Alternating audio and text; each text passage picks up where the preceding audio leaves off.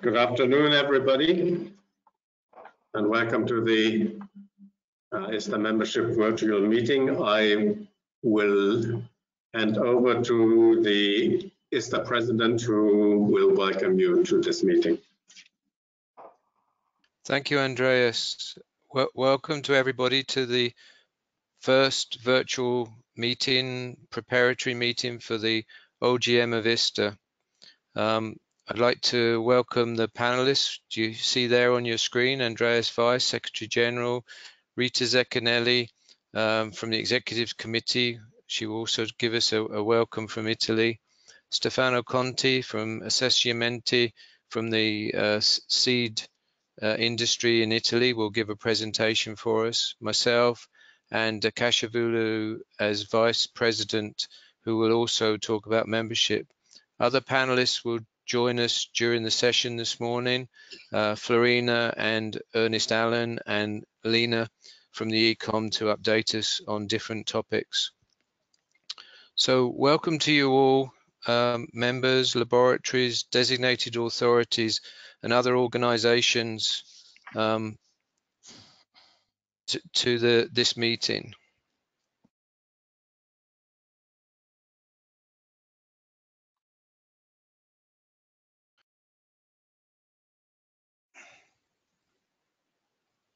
And just, uh, Andreas, I don't know if you can help with that, but I'm just trying to make the first slide uh, progress and uh, it doesn't want to move at the moment, but uh, if, if that's something we can just check about. Uh, it should work.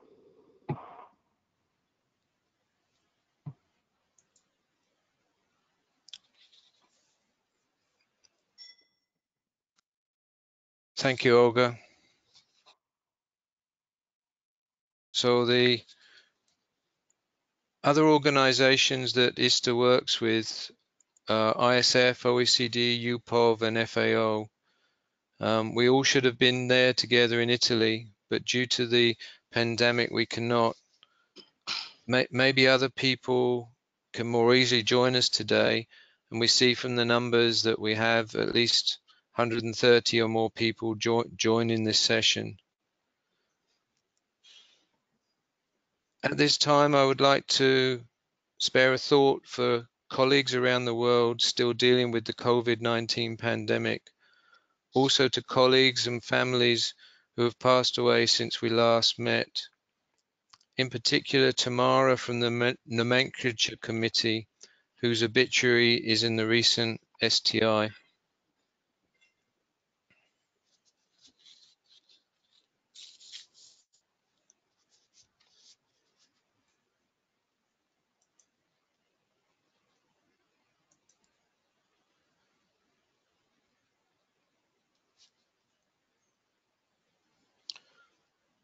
So the plant health seminar, which was planned for today, has now been moved to 2021. We have already had the virtual rules session on the 19th of May, where we invited questions and comments. And later on, Ernest Allen from the ISTA Rules Committee uh, will present the proposals that were already discussed on the 19th.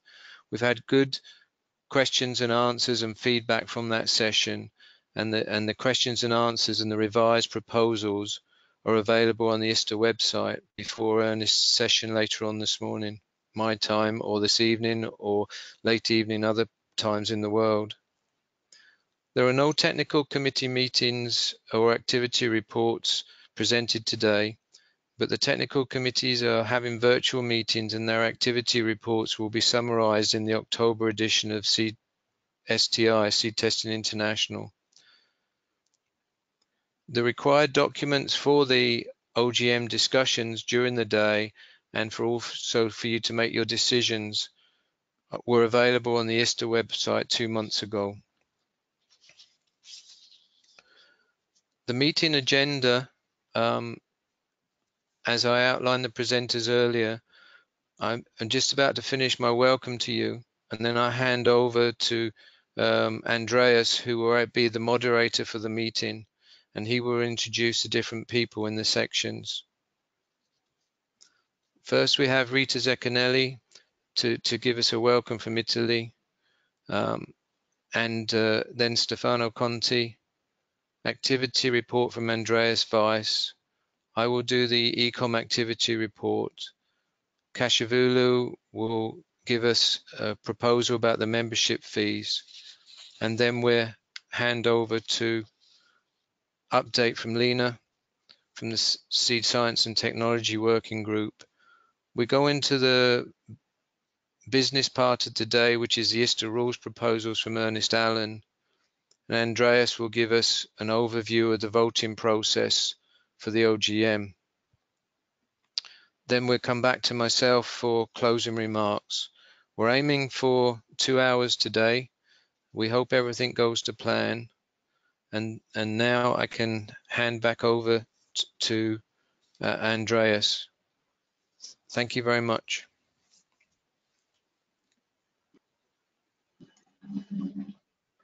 Thank you, Steve, for your introduction. Yes, we are having this um, first virtual presentation of the um, OGM. It is uh, not the pure OGM. The pure OGM is um, actually the voting process by the delegates and all delegates have received the voting delegate voting documents. The voting delegates received it. And I will give you at the end some more instructions on uh, how to proceed with the voting. Now I would like to um, hand over to Rita Zecchinelli. Rita, it's a shame that we cannot meet in Verona. You know I like the city very much and um, you as well. So um, please give us your welcome from Italy.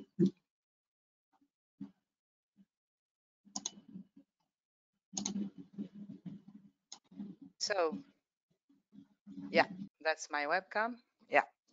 So, dear colleagues and friends, I'm honored to take the floor at the beginning of this very special meeting, and I'm happy to have this opportunity. As you know, our plans were different, different and today we should have all been together attending this meeting in person and we should all uh, have been in my country in Verona and shake our hands and say hello face to face, discuss together, and at the end of the day, drink uh, a glass of a good Italian wine. A couple of years ago, my country decided to invite the ISTA community to take the ISTA meeting 2020 here in Italy, in Verona in particular. And at that, that time, the COVID-19 pandemic was so far from our minds and also from our lives. But uh, this situation unluckily occurred, and uh, I have to say that it was hard in my country, very hard in my country, as well as in other areas uh, of the world, of the world world. And uh, somehow it is still hard, even if it's going improving, going better, lucky. Nevertheless, we are here today together and we are able to take care of our association and uh, to go on with our to run our business. And i think this is very important and very positive. Uh, if we want to see the positive side of this situation is that we are experiencing new new ways and new tools to and creating additional opportunities to discuss and, and uh, spend time together and uh, go on in our work. This will be useful in future i'm sure. Now i want i would like you to imagine you are here in Italy and I want to invite you to listen to the presentation of Dr. Stefano Conti. Dr. Conti is uh, representing Assosementi, which is an Italian association of both uh, seed producers and uh, breeders. Assosementi is the Italian representative both in, in uh, ISF and Euroseeds and he will present an overview of the Italian seed sectors and of the relevant figures. Before giving the floor, uh, first to Andreas, then to Mr. Conti, I thank all of you for your attention, and I want to strongly recommend you to come and visit my country. Italy remains a beautiful destination, even if sadly the ISTA meeting this year cannot take place here and uh, you ne we never know. I hope that in future my country will be again able to invite ISTA for a future meeting. So thank you for your attention. Thank you very much, Rita, for the nice words, and we all feel um, a little bit ashamed um, that we cannot come to Italy. That is not possible in the moment, but we have these new possibilities. And uh, that is also a possibility inside the voting area, because now not only people who um, are present at the ordinary general meeting can vote, but also other people who have read have got a registration by their governments as voting designated members and these are 47 this year out of 59 so that is a very big big number um, and we welcome all of you here in the virtual Verona. I hand over now to Stefano Conti from Assosementi and he will give us an overview about the Italian seed sector. Stefano, please. Can you can you hear me? Yes. Yes. Okay. Thank you very much. Good morning, ladies and gentlemen. I'm uh, Stefano Conti uh, from Italian Sea Trade Association. Uh, we are really pleased and pleased and honored to be invited. First of all, my thanks uh, to President uh, Steve Jones, uh, Secretary General, Mr. Mr. Weiss, and of course the the whole executive committee of ISTA. Um, in the next 10, 15 minutes, I'll try to provide you uh, an overview of the seed activities in our country and in particular the activities our association does. Assosementi was born in 1946. Uh, then we changed our denomination in 2009 uh, uh, in merging uh, AIS and Assoseme that were two different associations. And today we have about one, uh, 150 members. Uh, our section are split in are four: are cereal, industrial crops, forages, and vegetables. Uh, the numbers are uh, on the screen. Uh, plus an horizontal, uh, we call horizontal section that is uh, the breeder section that covers, of course, the the matter of the breeding. As announced before by Mrs. Zacchinelli, uh, Assosementi joins in ISF and uh, uh, Euroseeds, uh, today Euroseeds, formerly ESA. Uh, our association, uh, the activities is uh, historically about consultancy, that is the third line. But uh, by decision our board, we're trying to strengthen the, the first two segments, in particular lobby and communication towards uh, a, main a main target represented by authorities, stakeholders, and public institutions.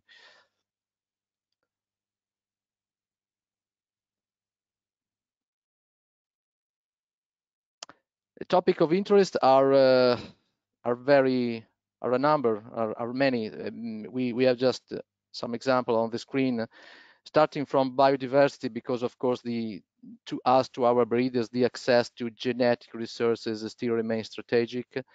Going on to seed treatment because that is strategic too for the modern agriculture as well as traceability that is uh, uh, necessary as an important requirement as a value in all supply chains uh, moving on the right, organic seed, uh, organic seed that in Italy in particular is a growing, interesting market. Uh, but uh, uh, talking about seeds, uh, it's also a challenger and as well as an opportunity because the planning of production is not easy due to seed derogation mechanism that is enforced, still enforced today. Now, of course, phytosanitary matter, phytosanitary that is is a, is a well-known matter, uh, and uh, but today is uh, heavily spread and heavily heavily impacts for most part of seed production for most crops. and finally, research and innovation that is strictly we're talking of course of, of breeding in this case that remains of course the the core and the heart of the seed progress uh, and uh, as you can imagine, the challenge today is focused on NBT's technology and European debate.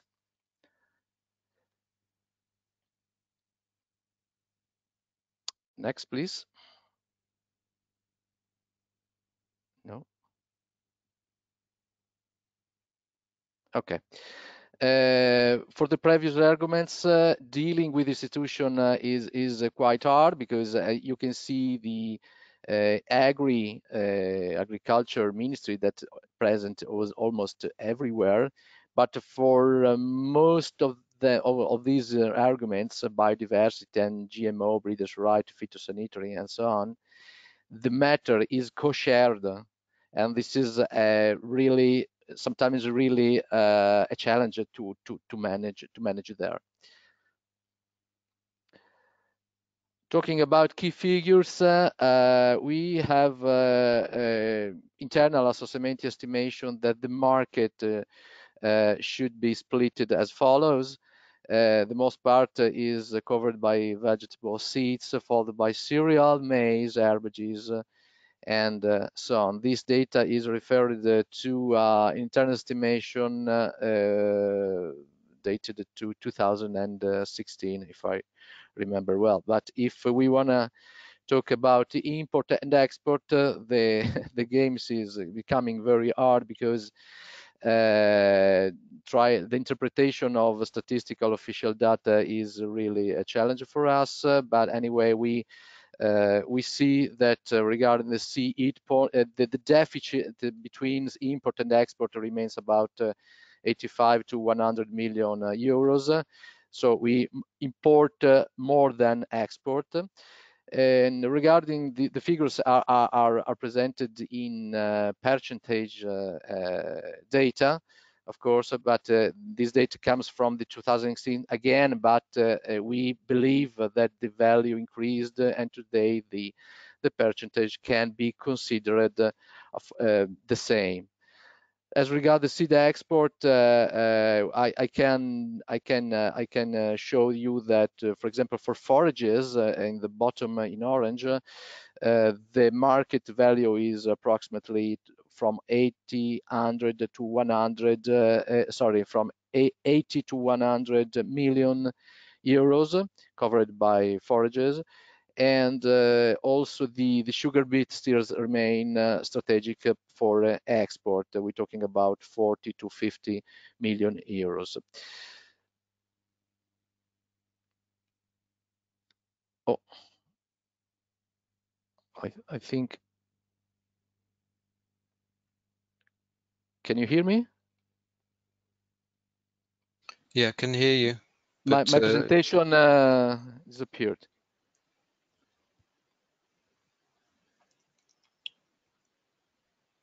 So Andreas, um, yeah, I think they're just going to reset it for you, Stefano. Okay, no problem.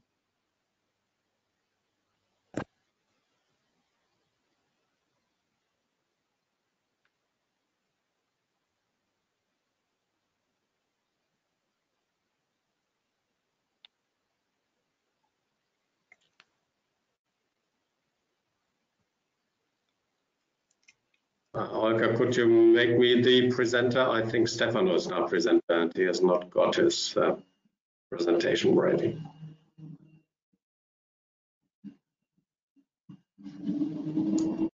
I, I can see only myself. So Stefano, at the moment, uh, they're seeing, uh, we're seeing your screen uh, from your computer. Just a second. So it's being reset now. Okay, okay, here it comes. Perfect. Can I go on with this? No. Yes. Okay. Okay. I can see that. Okay. Well, uh, the next slide is uh, about seed production and the data. The data. Our data talk about uh, over 230,000 uh, hectares multiplied. Most of them are about agriculture with 15 farmers and the rest uh, of 15,000 uh, uh, according to vegetable seeds.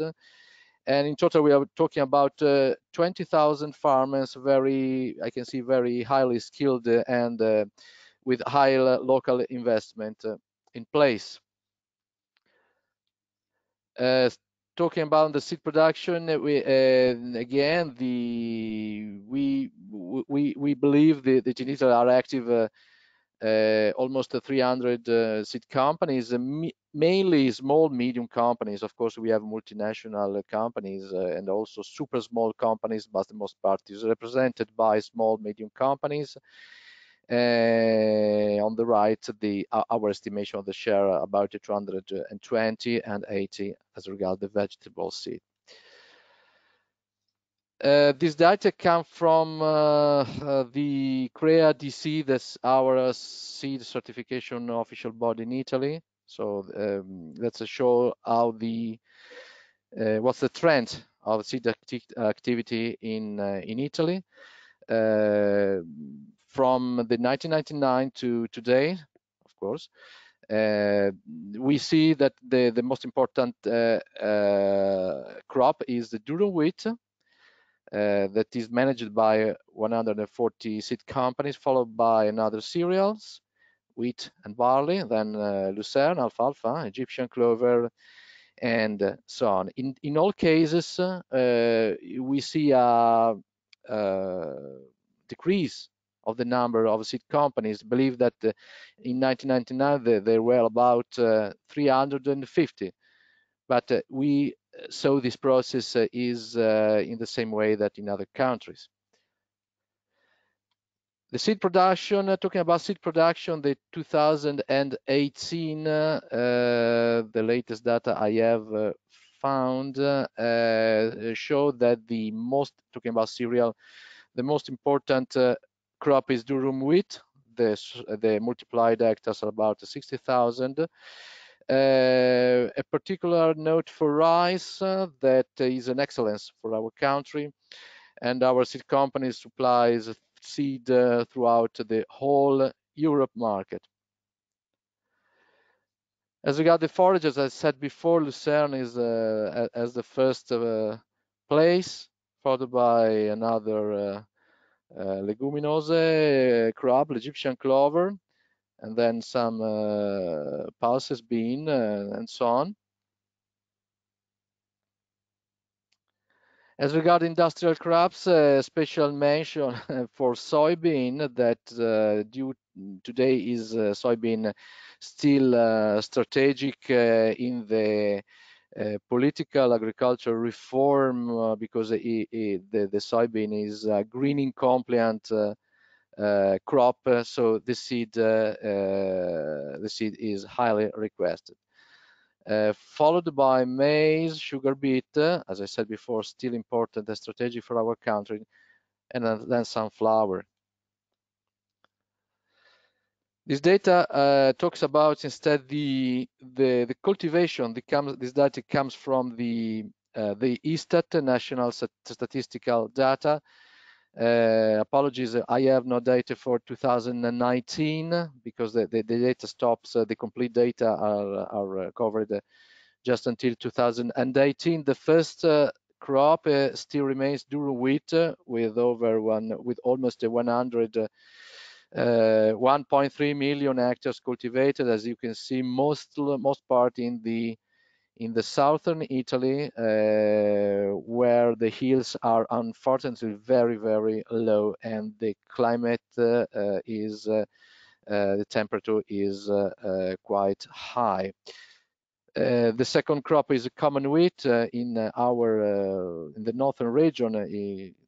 we are talking from Bologna, Verona is here, as, so we are talking about the, the northern Italy and the barley that is shared and, and is diffused among all the Italian country. Uh, the rice, uh, the rice uh, is still strategic, strategic, strategic crop. Indeed, not not so spread. Only 220,000 hectares, as you can see, only in irrigated areas of north or west of Italy. And finally, uh, quite marginal crop, the oats, uh, mainly in southern of Italy. Uh, back to Lucerne. Lucerne is actually the third uh, cultivated crop in Italy. We have about 700,000 uh, hectares uh, diffused in particular uh, uh, in the north and the center of Italy. Ryegrass and the field bean still remains a little bit marginal uh, compared to uh, lucerne. And industrial crops uh, with maize that actually still remains the second cultivated crop in uh, in Italy with almost 1 million hectares. The, unfortunately, the maize cultivation dropped very much in the last uh, 10, 15 years. And with the semi-cereals, the soybean, as I said before, uh, has uh, had a, a, a quite uh, success in the last uh, latest four or five years. And we close with sunflower. We end with sunflower and the in, in particular and uh, in the medium in the center of Italy and which uh, uh, acreage still remains stable at 100,000.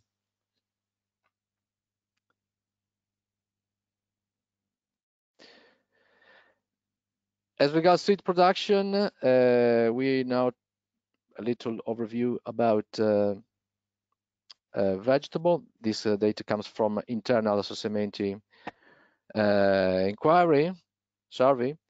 Uh, apart the coriander that raises up to 5,000 hectares, but we consider as an aromatic, so it's kind of borderline crop, but is still very, very important in the graph below, you can see uh, the, the, the share of the main vegetable seed uh, multiplication actors uh, split between open pollinated and hybrid. This is this survey is conducted annually by our association. So we can see onion followed by chicory and uh, radish, cabbage, pea, of course, carrot, carrot, very important, and so on. Uh, still working, still uh, sorry, talking about the seed production for vegetable, Emilia-Romagna region, that is our region, still remains uh, uh, very, very strategic important, as I said before, due to highly and skilled uh, and specialized farmers, uh, followed by Marche, that is just under Emilia-Romagna, and Puglia, that is in the far south of Italy.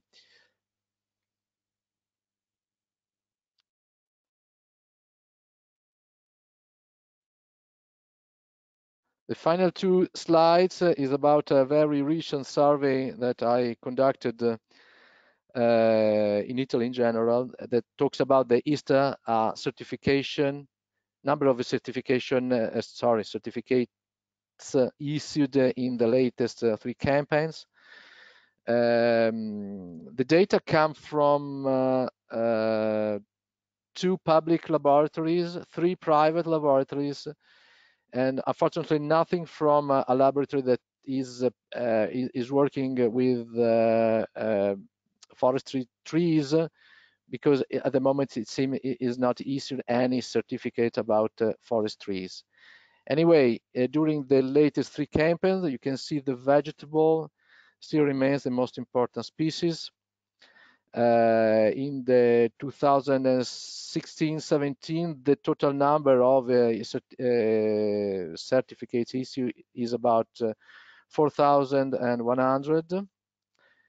Uh, the following here in the middle, uh, over 5,200, and the latest 2018-19 about still about 5,000 uh, as you can see, the the the vegetable in in any in all cases uh, still remains the most important, followed by cereals and uh, uh small legumes.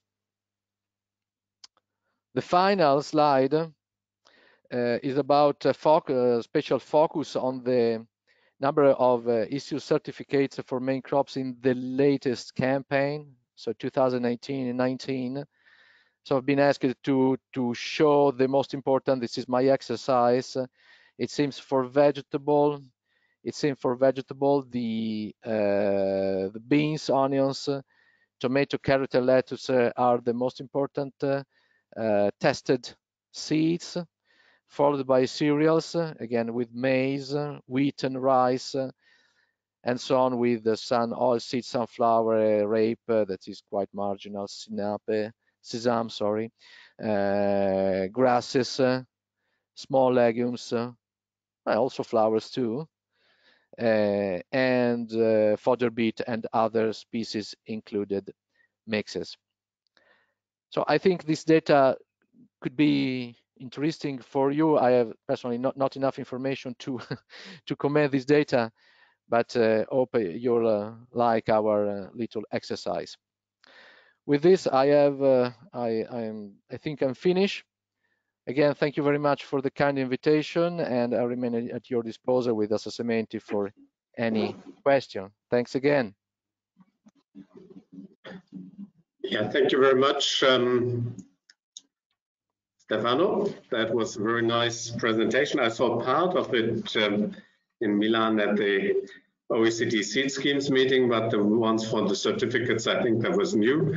And uh, very, thank you very much that um, uh, we could uh, uh, have that data from your side. Thank you very much. You're welcome. Thank you too. Goodbye. Goodbye. Thank you, Stefan.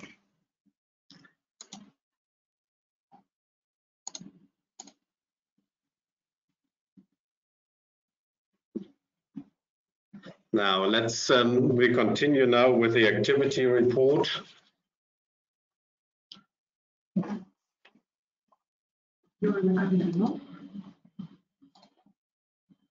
And share screen, right? Yeah. You're. Andreas, your microphone is a little bit high on your head, maybe. That's well possible. Now it's seen. Good. So you can see my screen now. Yes, it's good, Andreas. So you see the presentation. We had to quickly change because we have to organize a few things over here. Um, yeah, I would like to give you the overview of the Secretary General. This presentation was actually produced together with Florina Pallada, Head of Accreditation and Technical Department. Unfortunately, Florina uh, can join the meeting, but not as a panelist. We are a little limited here. Um, all the information uh, you see are provided also in the background documents which you can find um, here in this area and on the ISTA website.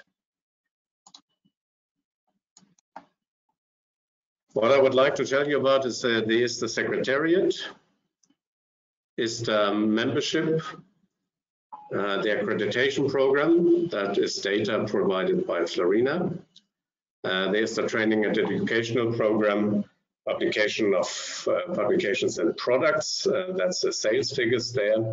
Highlights and achievements, which I will make a little bit shorter than, than usual uh, because of the time and the ISTA finances, which are of course affected by the COVID-19 situation.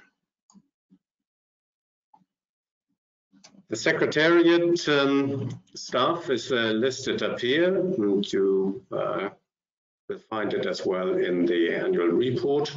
Uh, at the end of last year, Christine Herzog, who was working as a system auditor for us, made herself self-employed and uh, um, still stays connected to the ISTA Secretariat.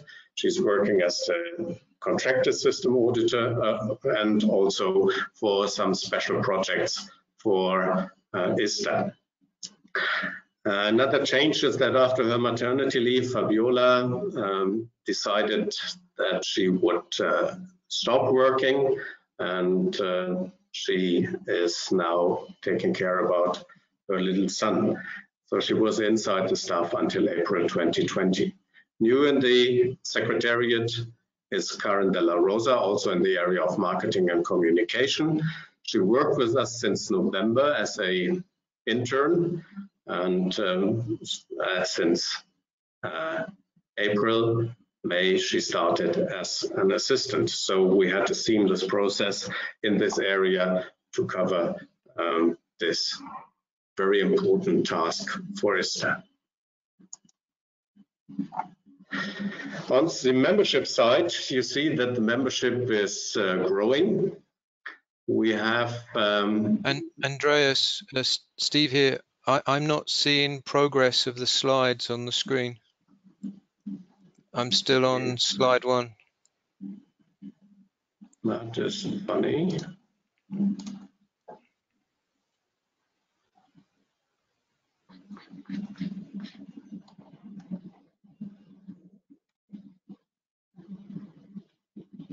Can you see the screen now? I can see that you're on ISTA membership slide with uh, Asia Yeah. Pacific. Okay, then I then I go back one slide and show you also the picture of um, Karen, um, so you don't miss that one. And then the membership area, I think now everything is fine. You see the good. membership slide. Yeah, okay. Um, we have an, had at the end of the year 235 member laboratories, which is an increasing number over the years. Um, and we have a pretty stable number in the area of uh, associate and personal members, which are now 30, 63 associate and 37 personal members. We welcome actually on board a new distinct economy, which is the Republic of Kosovo.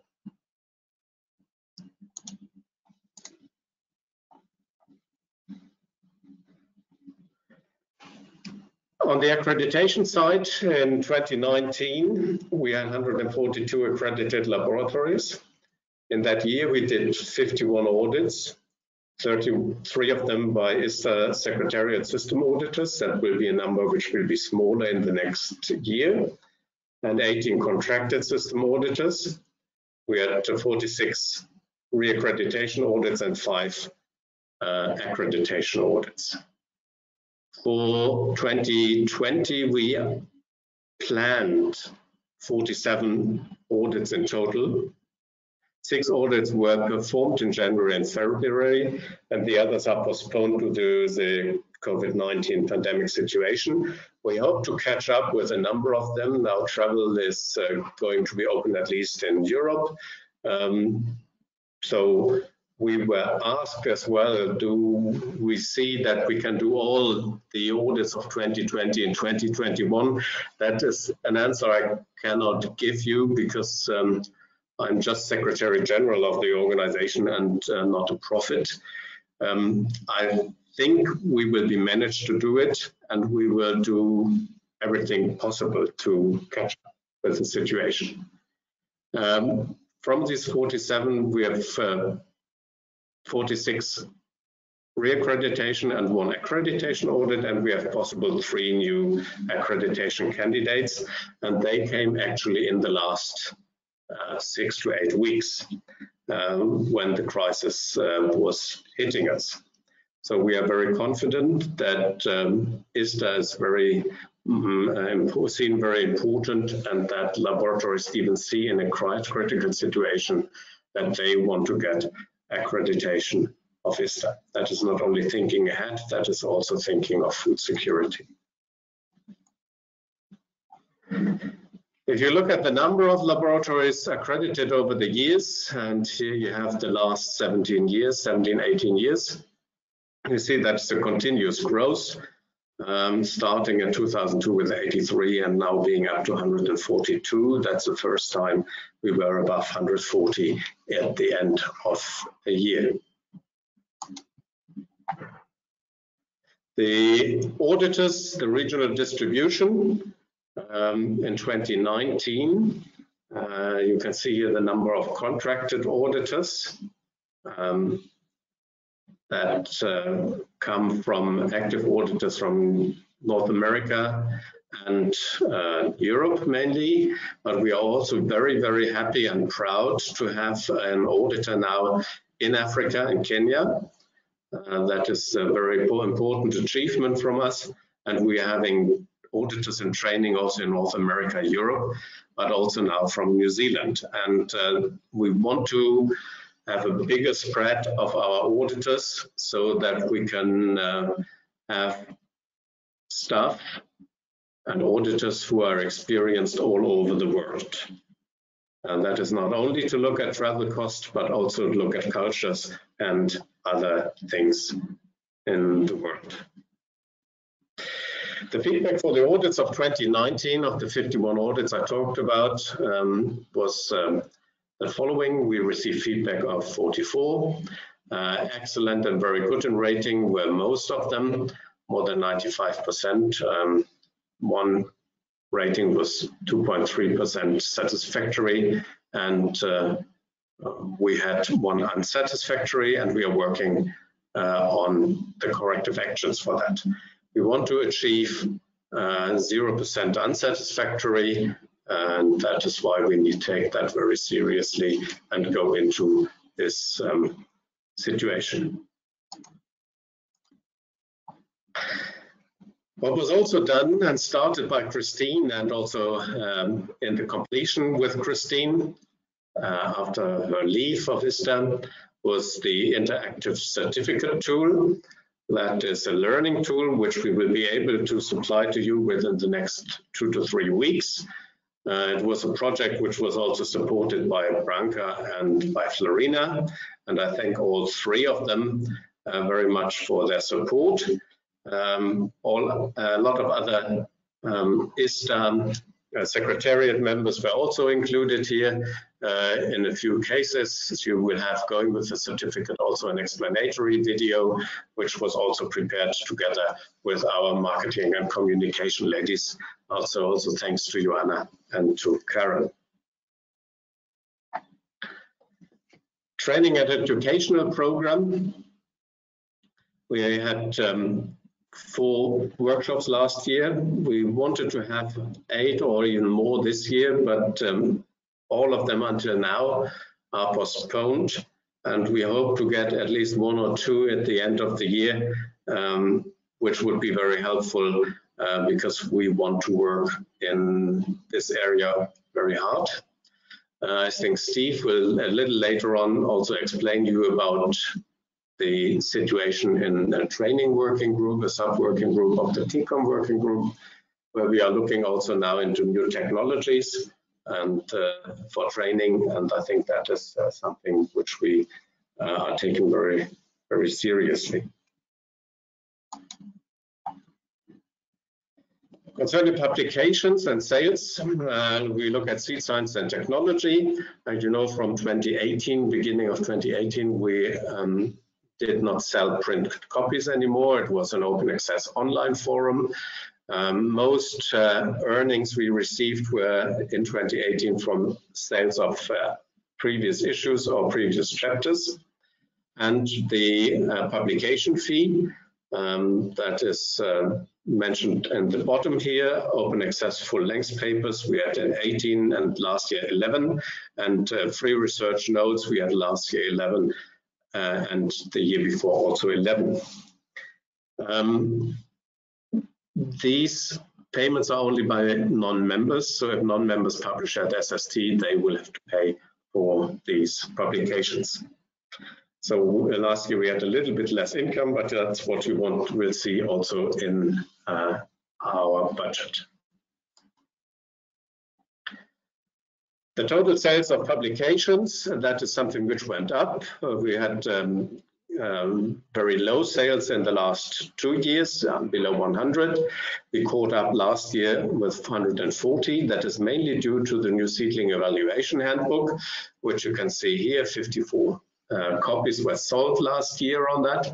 Um, you always have to bear in mind that all members of ISTA, all member laboratories get free copies of these handbooks. That was the first handbook we only published electronically, and we will continue to do so with the next upcoming one, uh, which may be the uh, flower seed or sampling. One of them, they're all short before uh, the date of publication.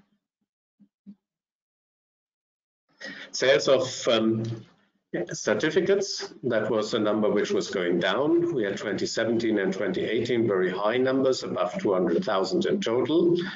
And uh, 2019, it was 175,000. We are still very good here. Um, and uh, that is giving us the, the um, estimation that in 2020 we also sell around 200,000 certificates.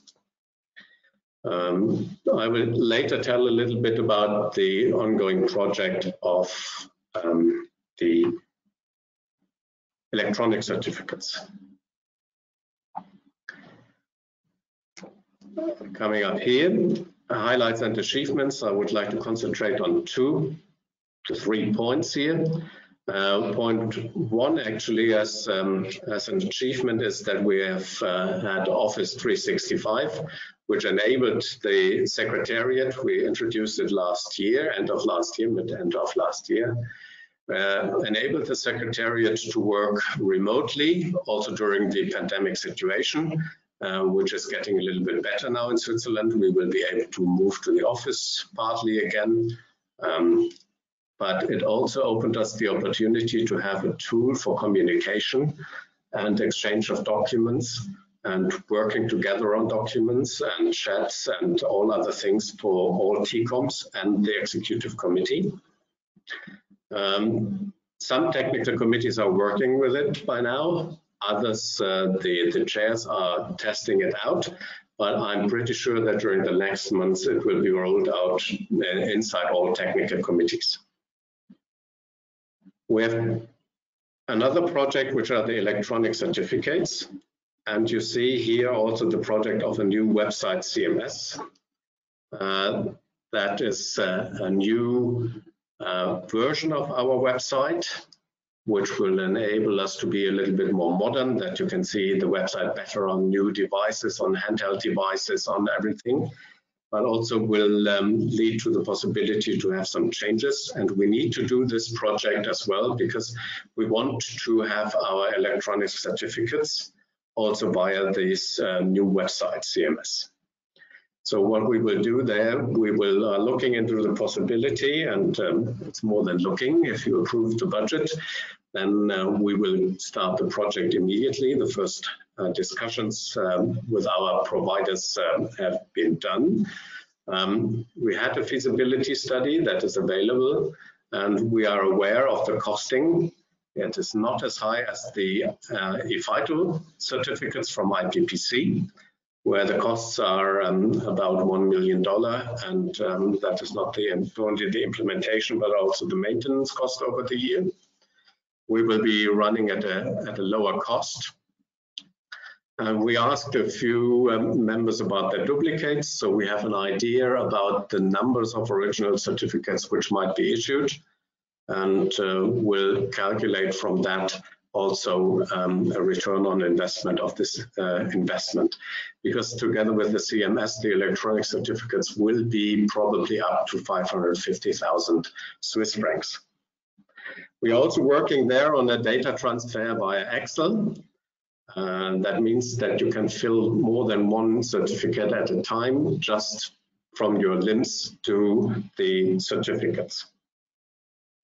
We will update you on the process and um, we are all looking forward to this uh, very interesting and uh, more than one discipline uh, project. Start of the project, as I said, is as soon as we have the budget okay from your side. Oh.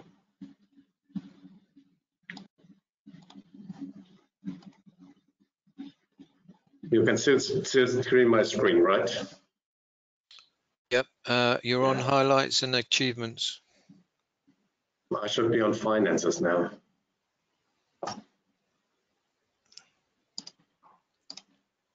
Now? Yes. Yes. Yeah.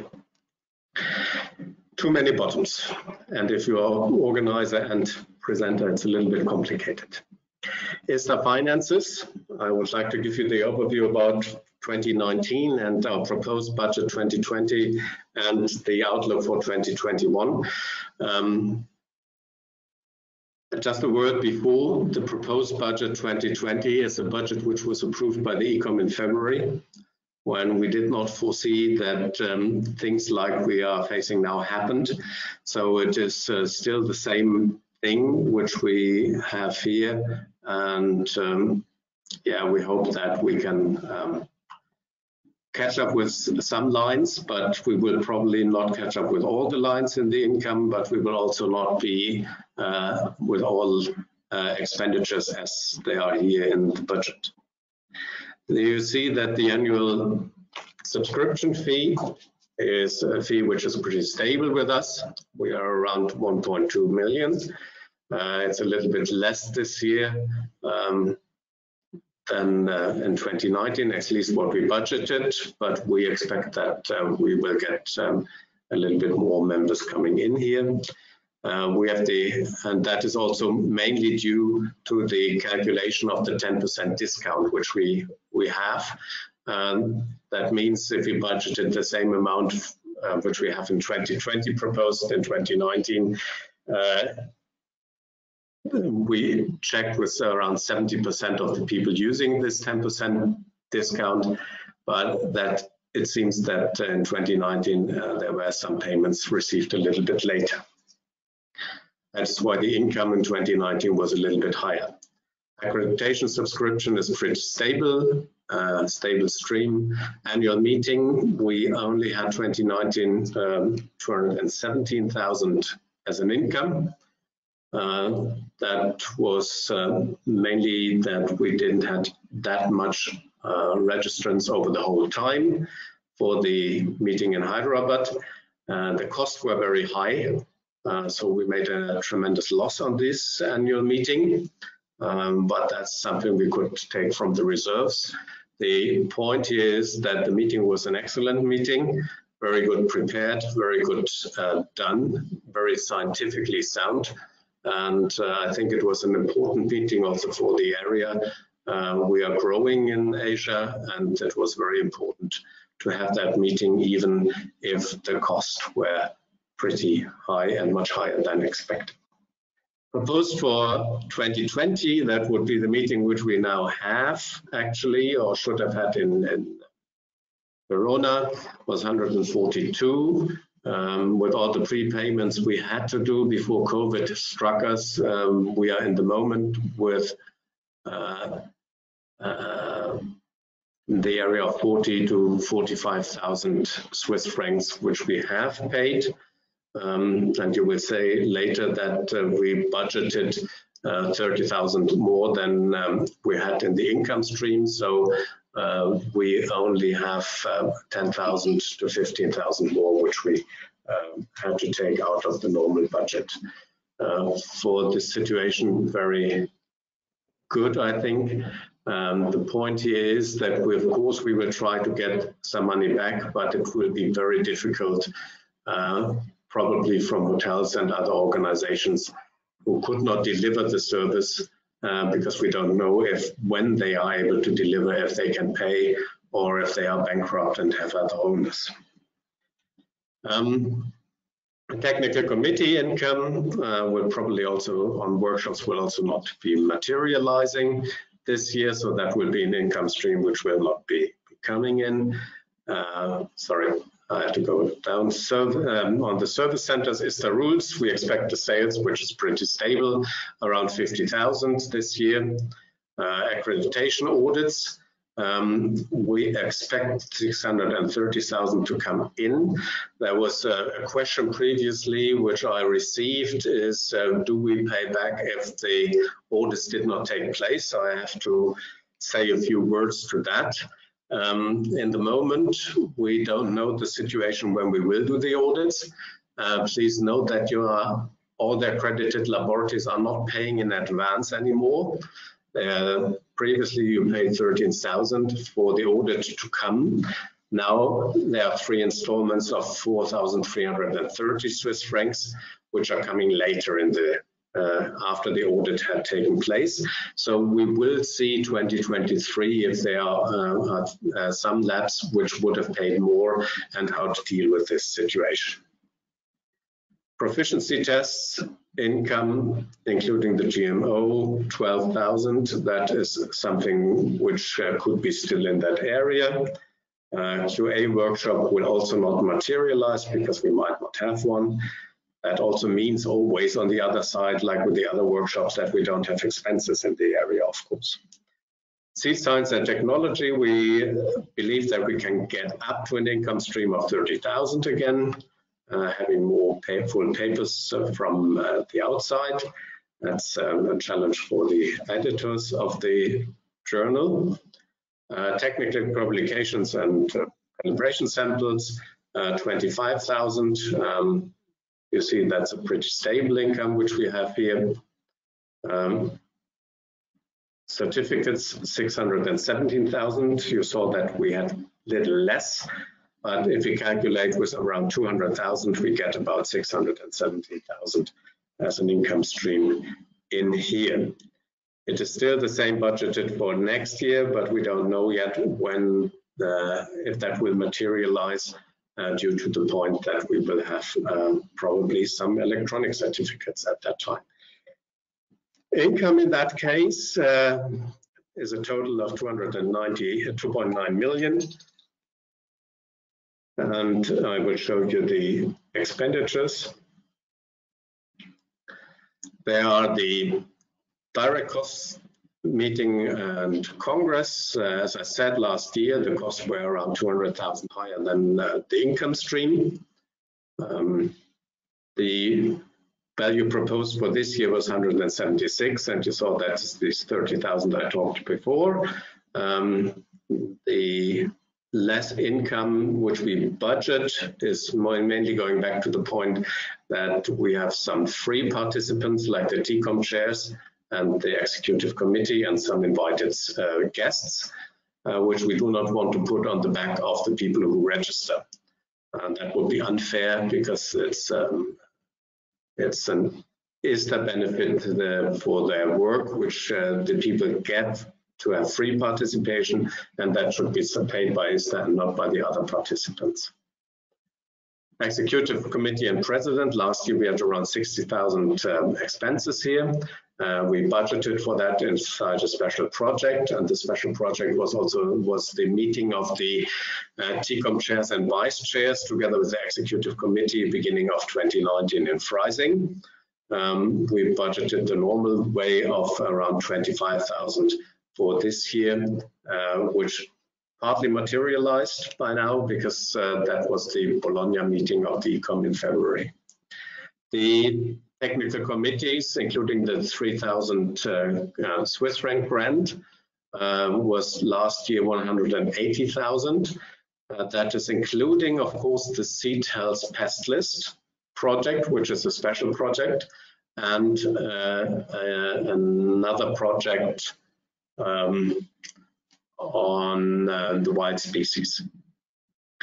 Um, proposed for this year 96,000 uh, all the other projects are inside the special project funding, which I will be coming later to. Um, seed Testing International, uh, we had uh, payments of 41,000 last year. That was especially the second issue, which was a little bit bigger and uh, therefore a little bit more expensive in shipment. Uh, this year we expect to be in the normal area of around 30,000 Swiss francs. The ISTA rules had an uh, expenditure of 13 to 14,000 uh, Swiss francs last year. We expected a little bit higher this year for 22. That was at least the budget. Uh, accreditation audits, um, there's a um, stable situation between 2018 and 19 and an increase for 2020 that is due to the travel cost which uh, will increase uh, due to the fact that uh, we changed our travel policies proficiency test, including GMO, um, also normally quite a stable thing uh, and always related to the income stream on the other side. QA workshop is the same, um, pretty stable, uh, but related to the income stream. So this year we don't expect to pay a lot here, uh, but also have no income on the other side. Seed science and technology, we expect to be around 55,000 like we were in the last years. Technical publications and calibration samples, we uh, expect to be at 22,000 because we needed to buy some new uh, calibration samples. Certificates, um, uh, payments about 65,000. That could be a little bit more because we were hit by uh, a lot of requests just recently. And we bought new certificates in the area of 200,000 oranges.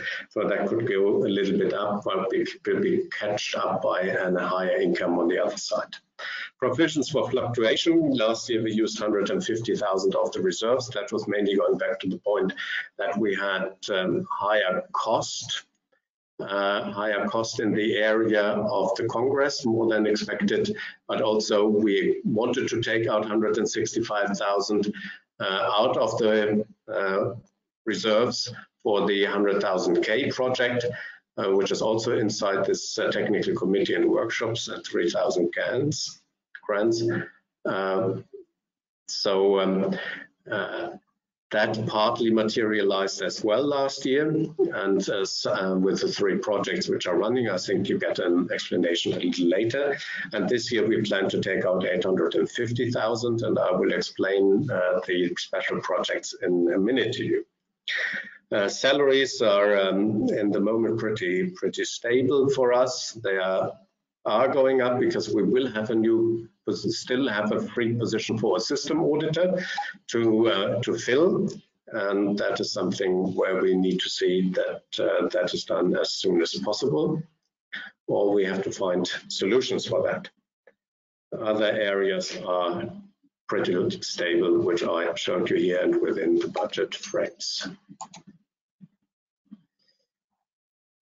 Further operational cost, office cost, uh, we expected to have higher office costs here because the increase of uh, rental fees, which would not materialize in 2020, um, but it may at a certain stage at 2021, and that doesn't mean that it is um, that high then, but uh, that is uh, just a, a forecast from our side.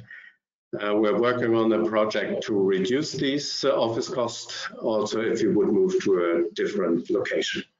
Travel costs also um, pretty stable in 2019. Uh, we expect an increase for 2020 and 2021. Uh, that is also to more travel uh, and more um, congresses and, and other meetings to be visited. Marketing cost, uh, last year were pretty low. We budgeted also 25. You see 26 in here, but that includes another project which the ECOM approved. That is a project of a PhD student in Angers. Um, she's working on 100 years of ISTA uh, as a history student and we will get uh, some more information in one of the next issues of STI to all of your members. Uh, they might contact you as well. Uh, she might contact you as well. And um, she was introduced in uh, newsletters and uh, you know about this project probably. Um, this uh, money comes out of the special project fund, which um, you will see below. And um, we budget marketing costs of around 25,000. Uh, website, um, we had low costs last year, but will probably have increased costs to maintain the website uh, this year, and we budgeted around 40,000. We will need to see how that will materialize. Uh, other, other special projects, we have this year 889,000. Uh, inside that are 550,000 for the certificate, for the electronic certificate and the adaptation of the website for this purpose. Um, we have around 200,000 from the, or 150,000 from the 100,000 um, program for the, uh, for the um, uh, special projects. Um, that are cost which were not materialized last year by the running projects and the new projects which are now coming up. We have uh, still costs for the CTELS test list, which was prolonged by the ECOM. We have the um, 100 years ISTA project. Uh, we have a number of other projects which we are finalizing out of this, uh, this budget. Um, in if you go back, if you would go back, we have 850 or 50,000 which we take for this out of the reserves. That means that we will have um, around for 40,000, which we can take out of the running budget. This is a little bit different for next year, and that is why we um, need to have ideas about uh, finances. We have to have an eye on that. We were uh, budgeting 180,000 in the moment proposed. It will be probably more uh, for the projects, but um, we um, have only 150 which we uh, take out of the reserves. So that uh, is um, higher. So we have more projects than we than we can take out of the reserves. There is another point which I would like you to do uh, attention attention to is the um, budget 2019, uh, where we had uh, inside the financial cost 160,000 financial costs, and in addition 50,000 or 55,000 financial income. That is related to the point that during the year we were facing the uh, problem that um, our reserves, which are in the moment 4.6 million, uh, 4.6 million 10,000 actually, um, that these reserves uh, had to be reshifted and um, because we were facing the situation like a lot of others that we were asked to pay negative interest for all our Swiss uh, franc accounts and euro accounts. So um, what we did, we kept the minimum on these accounts and uh, used uh, some of the area to go into um, uh, fill up our dollar accounts and go into uh, the um, possibility of uh, fixed assets. Um, but these fixed assets were mainly in US dollars and the US dollar dropped like the Swiss franc at the end, uh, like the euro at the end of the year. So we had a foreign, uh, foreign currency exchange uh, loss here of about 100,000. In the end, we didn't pay around 30,000 negative interest, but also get 55,000 out of it. Uh, so in the end, it is um, uh, on the paper not a real loss. Uh, it's an, an, equal. And if the um, that's for just for bookkeeping purpose. And if the exchange rate would change again into the other direction, which is which it is doing in the moment, end of the year, we probably have a correction here of the foreign exchange, which is in a positive way. That's what we um, we are hoping for, and uh, we are looking to. Um, that is um, what I can tell you in the moment. So we have uh, at, uh, um, positive result last year of 7,000 and expect this year 1,800 Swiss francs. Um, if you have any questions, you can send it to me or you can send it via the chat box. I would have to look at it. Uh, and um, what we had as well are the audit at beginning of the year by BDO, our financial auditors, and they approved our financial closing for 2019. That was uh, very positive for us. And uh, the ECO would suggest to stay with BDO as financial auditors also for 2020. You will find that in your voting document. I thank you very much for your uh, time and appreciate everything. And um, I wish you all the best and stay healthy. And uh, we all hope to see you in Cairo in 2021.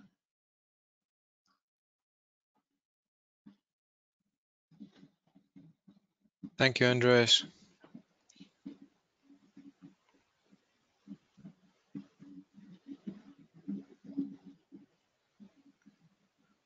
Okay, we have a few questions um, from Smili Kapoor. I think if you send us these questions because they belong to an accreditation or, or small scale testing business, if you send that to us uh, via ista.office at ista.ch, then uh, you will get the, the answers. I don't see any further questions in the chat box. Yeah, thank you very much. Uh, I hand over to you, Steve. And I try to give you the rights also to move the mouse. I hope that works. Thank you, Andreas, for the overview and the activity reports and, and the details of the ISTA budget.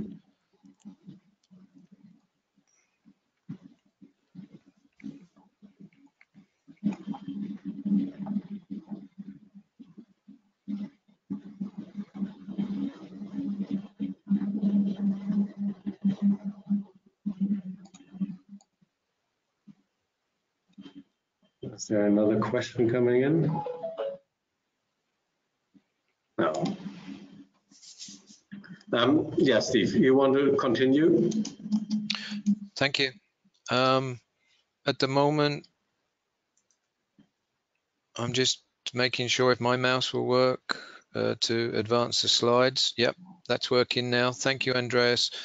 So um, we're, we're running um, to a tight schedule, so I'll try and quickly go through the PowerPoint so that we can get to um, the the other speakers in, in good time and also allow Ernest enough time to take us through the rules proposals. So in my presentation, which is uh, also available in the preparatory area for the events, so if, if I go over anything too quickly, you can always go back to that and, and look at that later. So I'm going to give you an overview of the Ecom membership, what ISTA does. So Andreas, I've just lost uh, the screen now.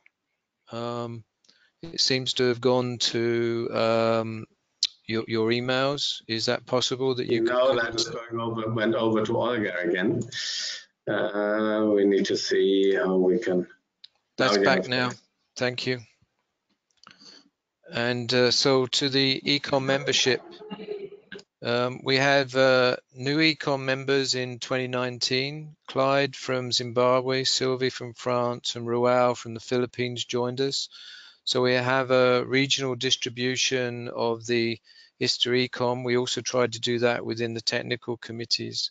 And in 2019, uh, at the meeting, colleagues that left us from the executive committee were Joël Lechappe, who also became uh, our next ISTA honorary life member, and Mabel from Zambia and Masatoshi from Japan. And uh, I know they they all wish us well in this meeting and still participating within ISTA in different activities.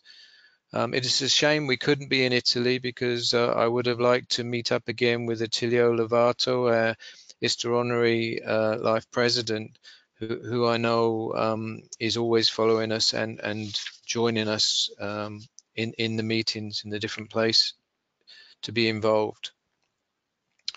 ISTA was started in 1924 with the aim of facilitating international seed trade. It's become internationally recognized and cross-linked with other organizations like OECD, ISF, UPOV, FAO. We have very close links with those and we want to continue to have those close links. What ISTA does, um, you, it develops standard methods and procedures for both sampling and testing, promotes uniform applications of these procedures for evaluation of seed movement in international trade. Those methods and procedures are well used for domestic seed certification quality control programs and the international seed trade. They can also be used in other areas like grain or phytosanitary testing, and the methods are there available for everybody to use. Um, the end result is often the ISTA certificates uh, that Stefano gave us a very good introduction to for the use within Italy for a range of commodities. The Orange International assures a traceability from sampling to testing in one unique system with a maximum seed lot size. The Blue International doesn't have the maximum seed lot size and also is used specifically for seed, for seed mixtures over 200,000 certificates issued globally every year, and the idea is not to move towards an e-certificate system to uh, facilitate trade and keep up to date with the technologies in those areas.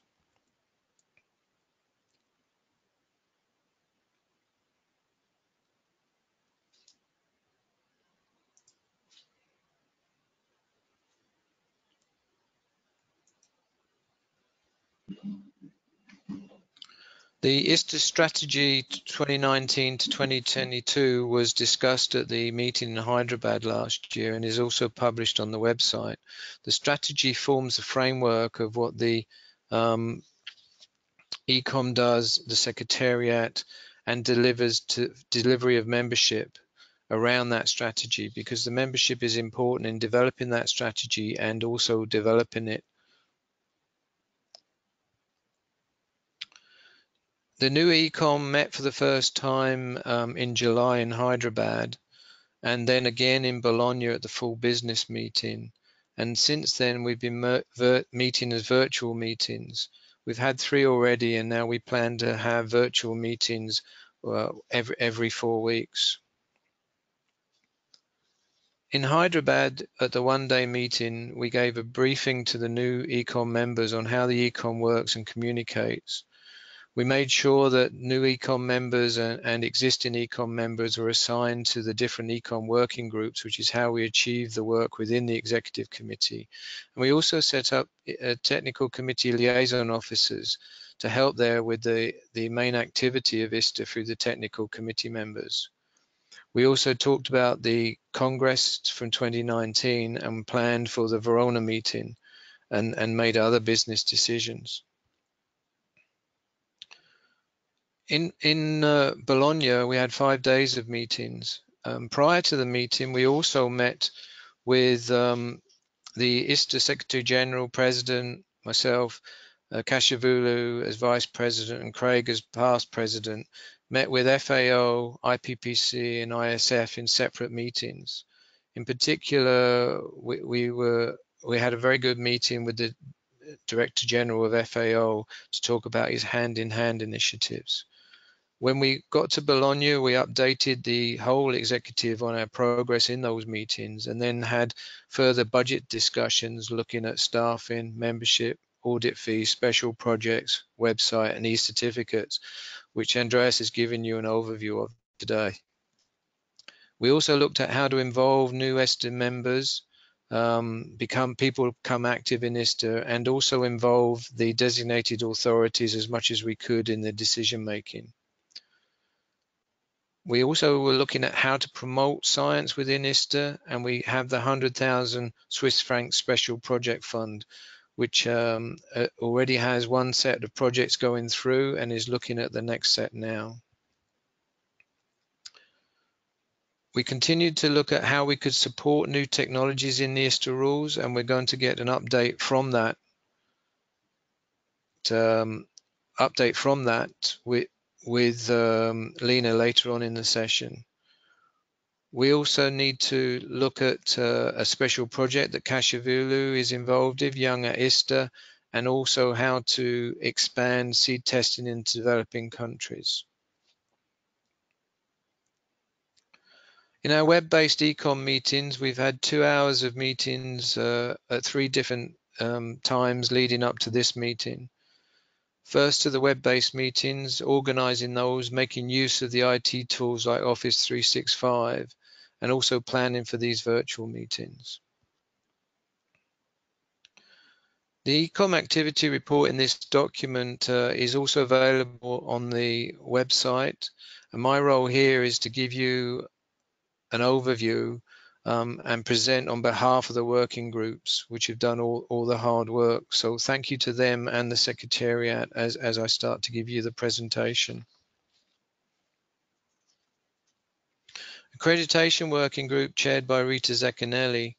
The highlights there are looking at the support to the accreditation department and review of accreditation standard and other documents, as well as ongoing projects about restructuring the audits, looking at interactive certificates and how that will affect the audits, co cooperating with other TCOMs and organizing workshops and training events, um, especially for the technical auditors. Articles and bylaws chaired by Keshavulu. Last year, there were two changes to the ISTA articles where the industry member category was removed and the deadlines for reporting for annual meetings was revised. This year, there are no um, ISTA article changes or proposals to be considered. Designated authorities and international relations working group uh, have been merged to, to make the larger group where we've merged both international relations and designated authorities that were separate. Designated authorities are particularly interesting and, and important to ISTA to be involved because it is one country or distinct economy, one vote within the ISTA system. And it's the designated authorities that designate the voting members. So these people and organizations are important to ISTA. We had key meetings uh, with FAO, ISF, IPPC, as I mentioned in February. That's part of the international relationship and uh, building with, with our other partners that are interested in the seed world. Continue collaboration with key ISTA partners and we're looking forward to make new links and attend meetings both virtually and in person as the COVID situation changes.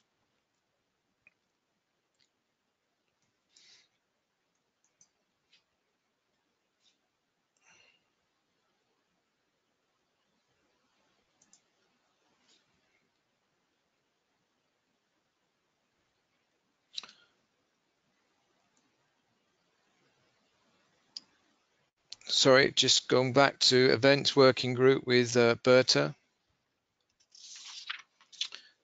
And that's particularly important for arranging the annual meetings and looking forward to arranging the meeting and Congress in 2022 in New Zealand and also sorting out and agreeing venues for 2023, 2024, which is the 100 years anniversary of ISTA, and 2025.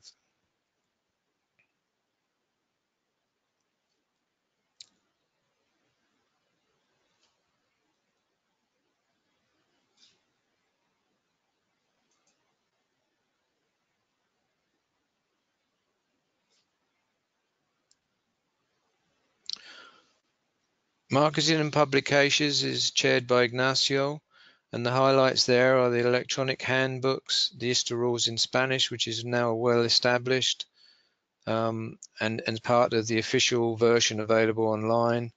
Videos that are being developed online, especially for sampling and, and maybe in the future for others, as we look to, to, to develop um, other training tools. We also have an increased presence on social media with the ISTA newsletter, LinkedIn, Twitter, Facebook, and YouTube. The ISTA rule session from the 19th of May is already available on, on, on the YouTube channel as well. Science and Technology Working Group chaired by Lena. Um, they've developed a general guideline how to, on how to proceed with the new technology in ISTA laboratories and the document is nearly ready for publication and Lena will give us an update on that shortly.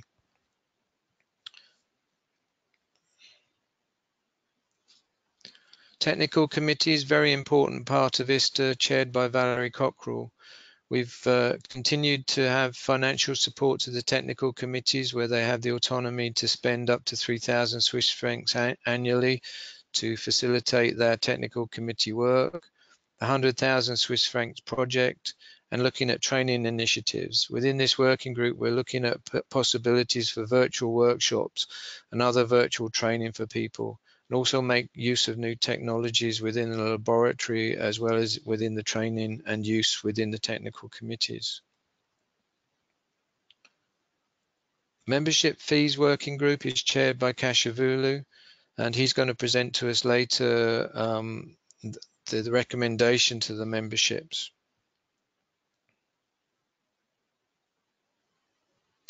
Vegetable Seed Industry Working Group is a joint working group between ISTA and uh, members of the vegetable industry. Vice chair is Merrill from, from, from the industry and chaired by Berta. There's two ongoing projects, experiment to look at how to increase the number of sublots of vegetable seeds and the possibility to reduce the weight of working sample for the other seed determinations for fruity crops. The technical the technical committees um, of ISTA, as I said, are key to how ISTA manages to achieve its workload and output. 20 technical committees and working groups um, with a membership from 270 technologists, scientists, uh, analysts around the world. 250 professionals have attended um, annual workshops, and those those are important things that we want to maintain, um, and why we're looking to achieve and develop virtual workshops for the future.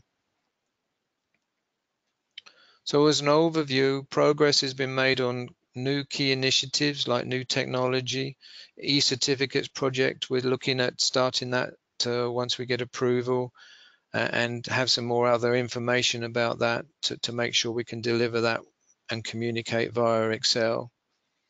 And we're still maintaining and improving the international rules for seed sampling and testing, which are a key key product and key importance to ISTA as an association. We'll also continue with and improving the laboratory accreditation situation. And as you can see from this work and others within your own countries, we're trying to adapt to the COVID-19 situation to, to continue to support the global seed trade and help feed the world. At that point, I'd like to um, thank you and uh, hand back over to Andreas. But before I do that, I'd like to acknowledge that the progress is only possible by the hard work, cooperation and dedication of the of the different people within the executive committee working groups, the technical committee chairs, and and the ISTA secretariat, designated authorities, and from the host organizations and companies. So thank you very much. I hand back to you, Andreas. Thank you very much, Steve. I don't see any any questions popping up here. Um, if you, there were some general questions about ISTA. If you have these general questions, please connect directly to us via ista.office.ista.ch. Thank you very much, or by our website. Um, makes it easier. Um, I would kindly ask now Keshavulu, our Vice President, to um, talk about the membership fees. Keshavulu, are you ready? Yes. Okay, you may take over. Yes. Yeah, thanks, Andreas. Hello, everyone. So thank you very much for the opportunity to talk on the ISTA membership fee.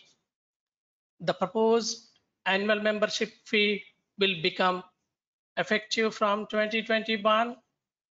Of course, as we are all aware that the designated authorities are key component of the ISTA organization, no membership fee associated with the designated authorities.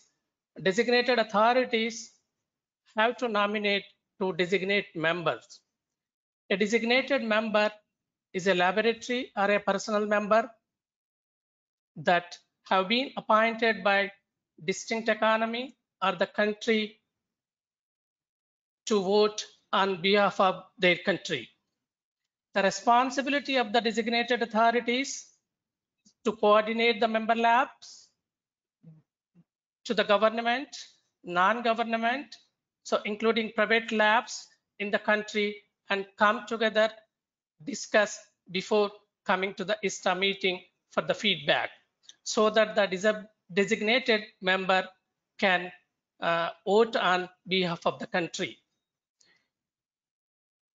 The current the is oh could you could you could you go back? Yeah. So uh, the current uh, ISTA membership fee 2020. So if you look at the uh, category wise, the annual membership fee, the member laboratories, sampling entity, the 5,214 Swiss franc. So in addition, an accredited member additional fees 1,224 Swiss franc. Then another category is the personal member annual fee, and then which is the 1,049 Swiss franc, and who is engaged in, in the science and practice of seed testing who is also uh, uh, supporting the ISTA objectives. Then coming to the final category of the um, membership, the associate member, and then who is not a personal member, and then who is also involved in the science and practice of seed testing and also supporting the ISTA. Here, the membership fee do not include the audit fee payable by member laboratory or the sampling accredited labs and that is not voted on the by the membership. But the membership is informed about any changes in audit fee. No changes are currently planned.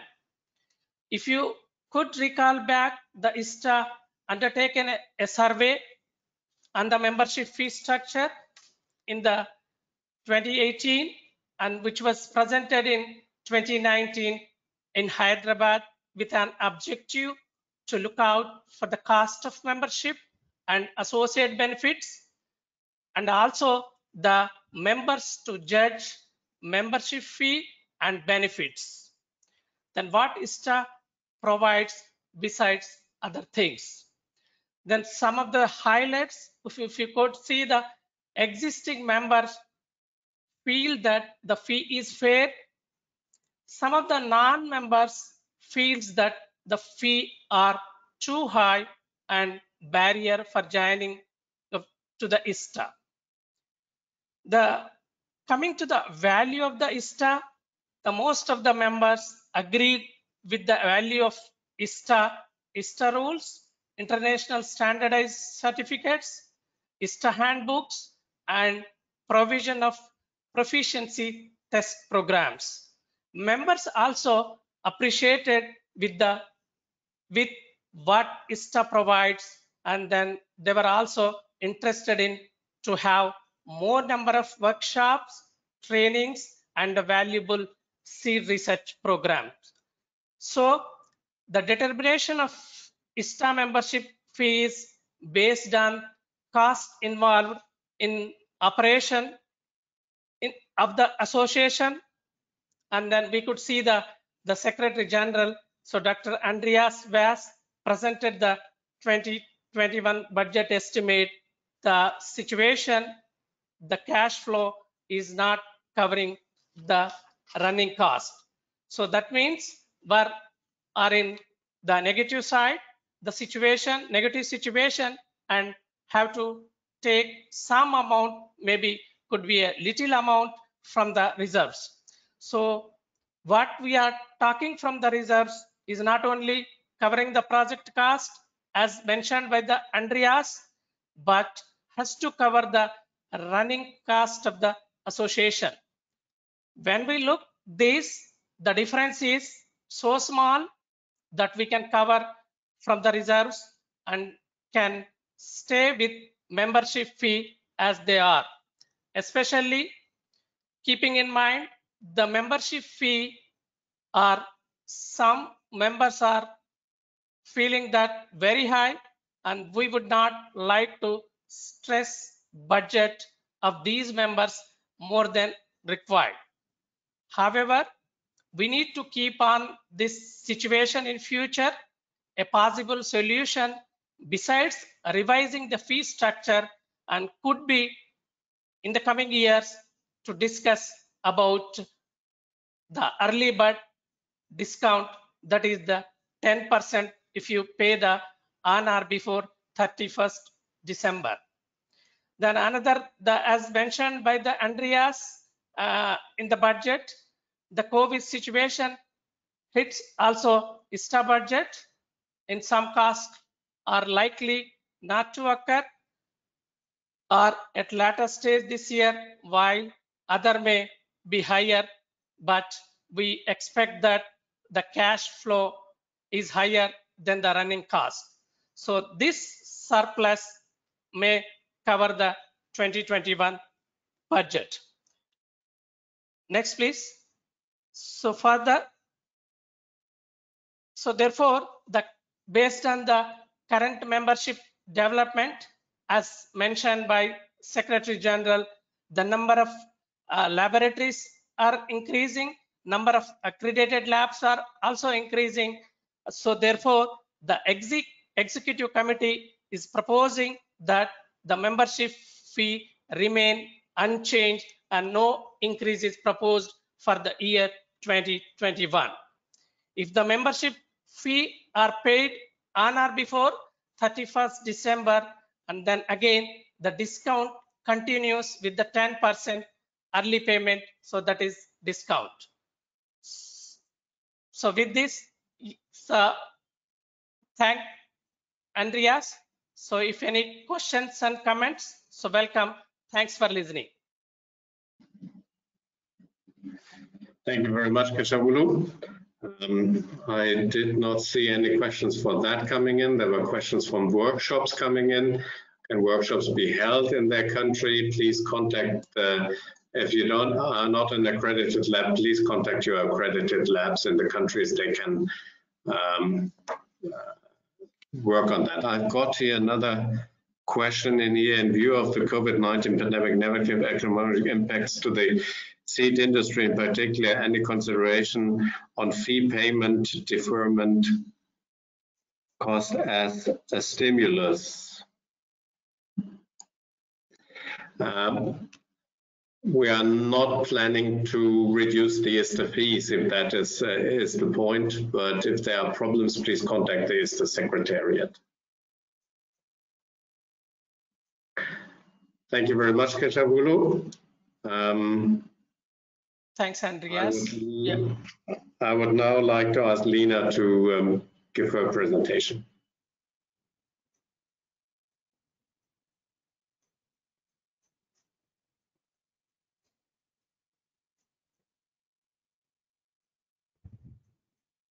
Lena, you may go ahead. Thanks. Uh, Hello, everyone. Uh, I'm happy to give this short presentation on science and technology working group work, what we have been doing since the last meeting. Um, Next slide, please.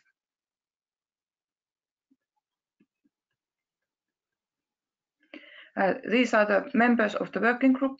There were small changes after the new ECOM.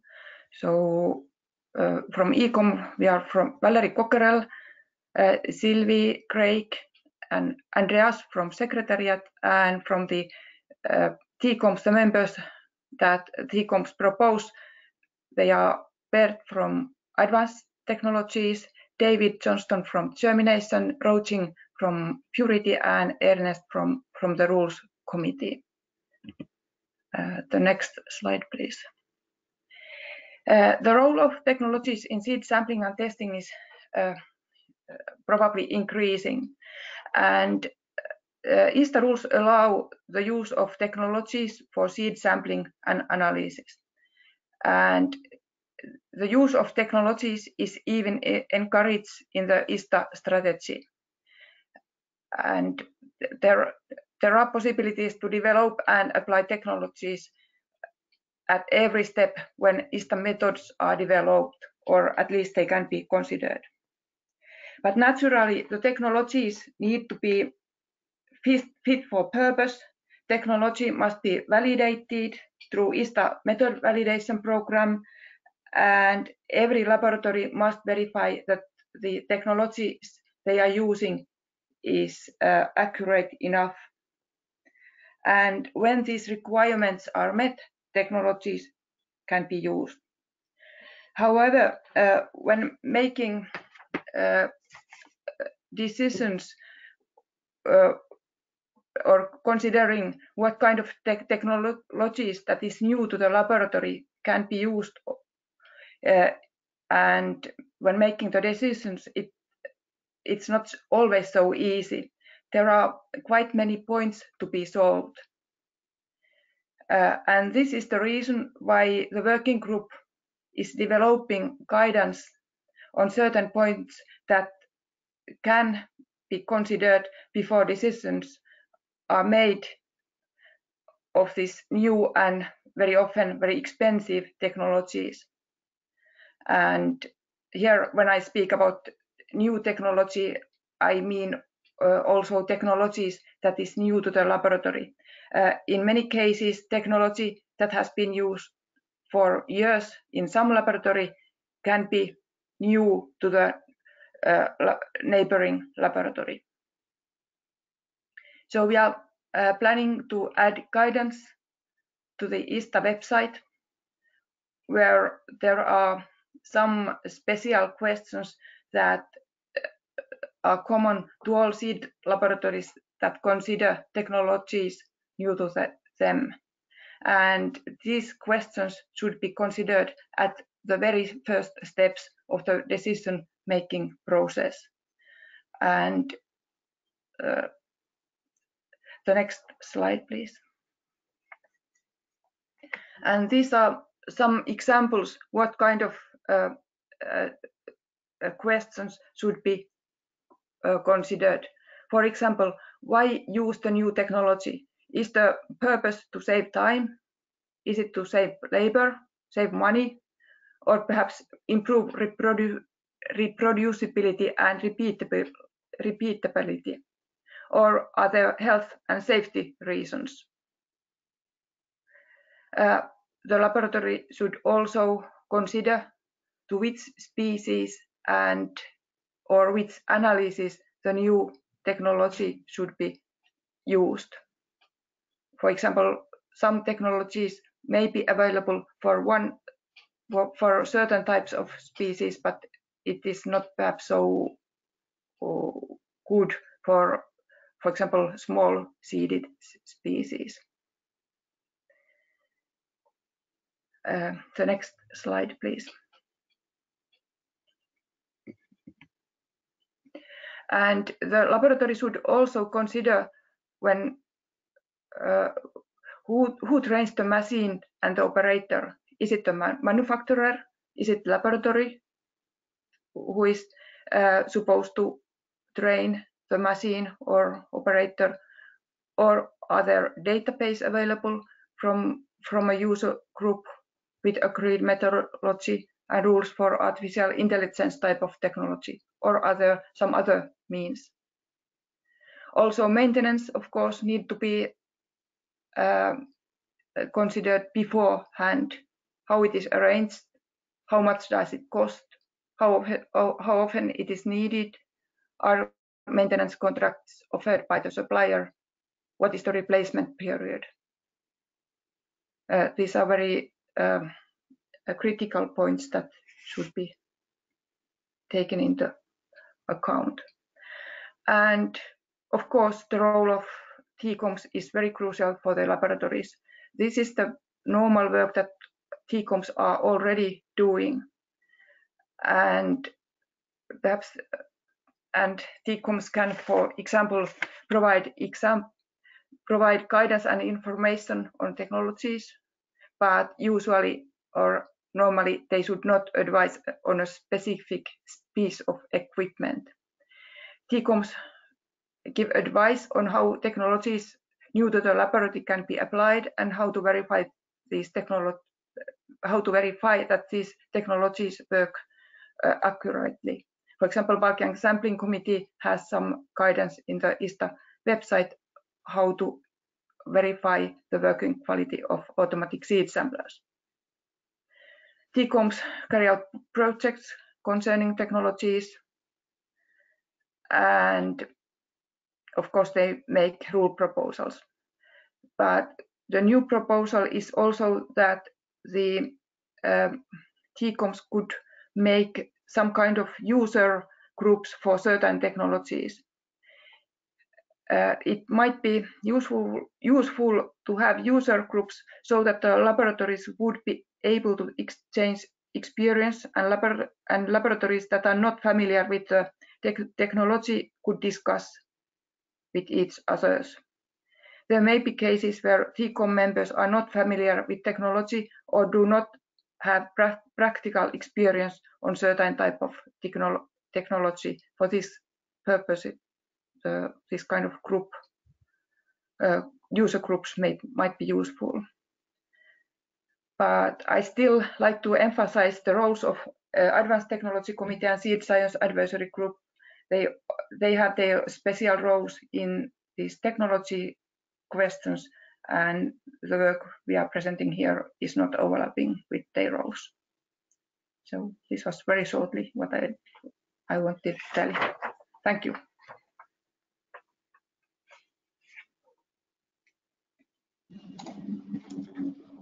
Thank you. That was a very nice overview about uh, the work of the um, new technology working group. And I would like now, don't see questions to that. There was a different question also coming from, from the fee structure. Uh, so let me, I think that was, was all. I answered that uh, directly. Um,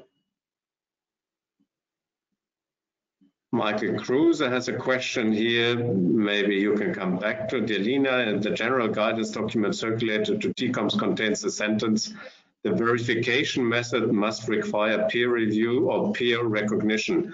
What does that mean in practice? Thank you for your presentation, Michael, or explanation, sorry. Could you comment on that? Uh, uh, is it possible that I would come back to Michael later? Yes, of course. Yep. Michael, I hope that is fine for you. Now I would like then to ask um, Ernest to present the proposed rule changes. Ernest, I see you are Stefano Conti, you, so you um, so you so Stefano changed a little bit and went over to the US but I think you only took his place in the panel list. And the floor is yours. Uh, I will open your microphone. Now we can hear you. Okay, can you hear me? Yes, now we can.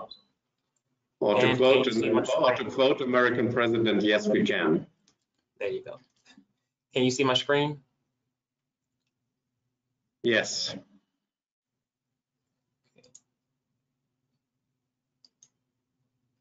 Great.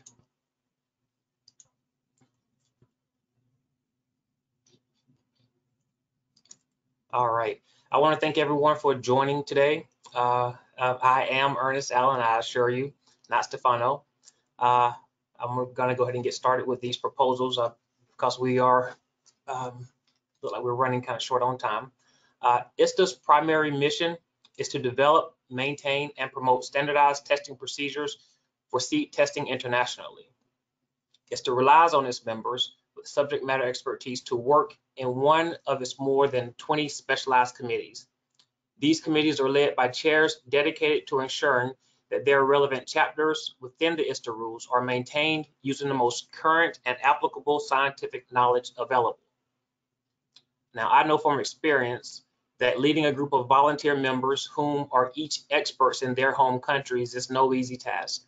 Yet, year after year, technical committee chairs are able to pull together the pull together these experts uh, to develop rules that make it easier for, for the global seed trade uh, to occur internationally. So before I get started, I want to thank the technical committee chairs, TCOM members, the ISTA Secretariat, and all other stakeholders that work with us to facilitate our work in publishing the ISTA rules. This year, the Rules Committee is submitting to the membership 10 editorial changes and 16 rule change propos proposals. Since this year's meeting is virtual, we requested that you, the membership, submit your comments to us prior to last Tuesday's meeting so that we could discuss them during the presentation, uh, which we did. Uh, while several issues were resolved during the meeting, a few comments required the chairs to discuss uh, comments with um, the comments with their committees um, after the presentation. The chairs have since submitted to me and the secretariat their final proposals. Those changes are in the document that we will review today and are now current on the ISTA website. Uh, while we're going through this, I will point out any changes uh, made that may have occurred after Tuesday's meeting so that voting delegates and their constituents can make informed decisions during voting. Uh, proposals that are approved by vote will be incorporated into the International Rules for Seed Testing 2021 edition. Uh, this edition will be effective and published on the ISTA website 1 January 2021. Since there are no changes to the editorial section, I will give a, give a brief summary of the proposals, followed by a few seconds uh, of me scrolling through the proposal for you to view them before moving on. And without any further delay, I will move on to the rules proposals.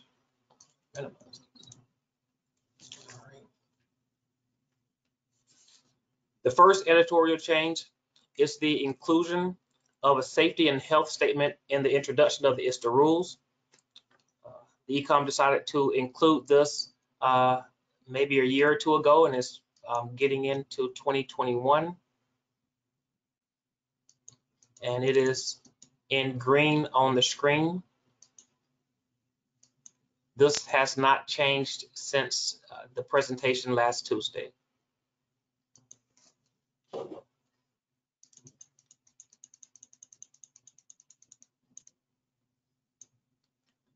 Moving on to the next proposal. These changes were approved at OGM 16, but, but were not incorporated into the rules. So we're doing that uh, for the 2021 rules.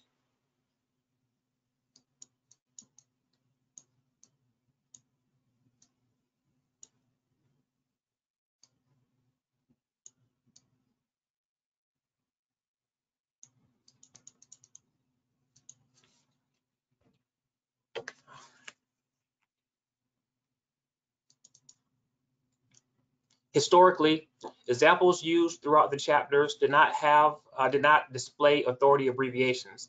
And authority abbreviations are not required on the ISTA Orange certificate or the Blue International certificate.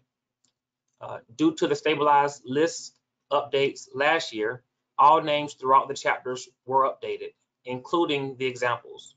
This editorial change will revert those examples which were changed in error back to their original format.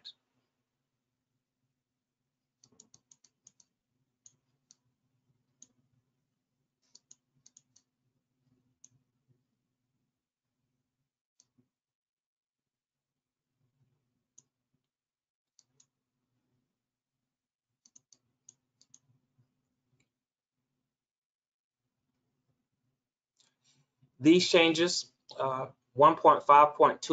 1.5.2.21, genetically modified organism, organisms. Uh, these changes were approved during OGM 18, but were not updated in the rules, so we are including them in this edition.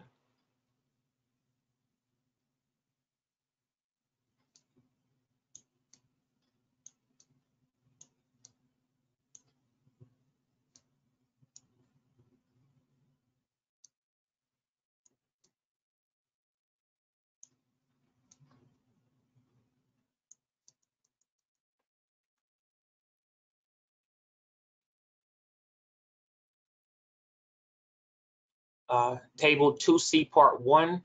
Uh, these changes were um, are, are, required as a result of the approved uh, nomenclature changes to the stabilized list uh, that have been incorporated into uh, Table 2C. Uh, you'll see the current version version as well as the proposed version as I scroll through.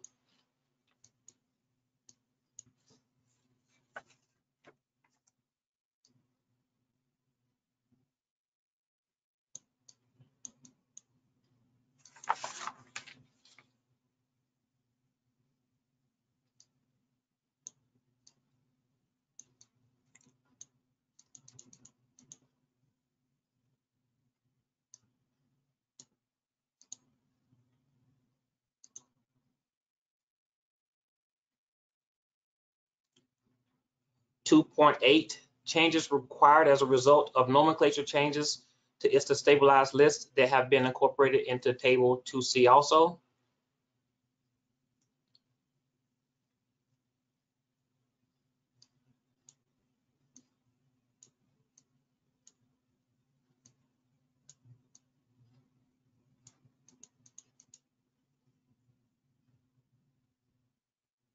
Four point two point one definitions. These changes were approved during OGM 18, but, but were not updated uh, in the rules. So we are updating those in this edition.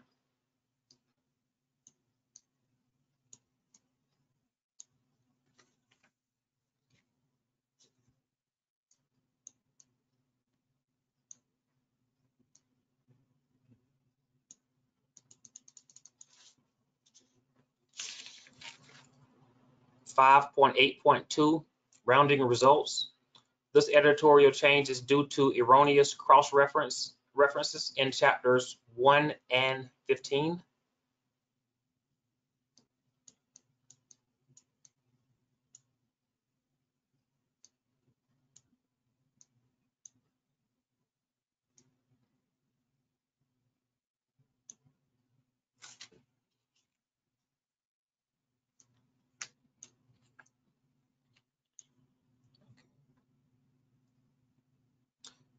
C.7, clarifying instructions for preparing hypochlorite solutions for pretreatment as prescribed in the methods and adding the use of hypochlorite solutions for methods similar to those already approved in the rules.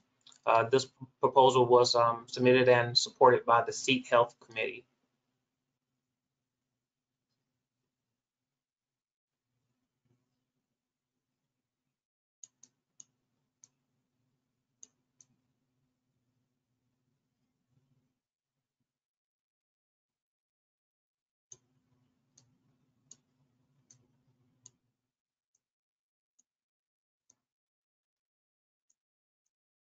Again, I'm gonna go through this um, pretty fast because there were no changes from our previous meeting to this proposal.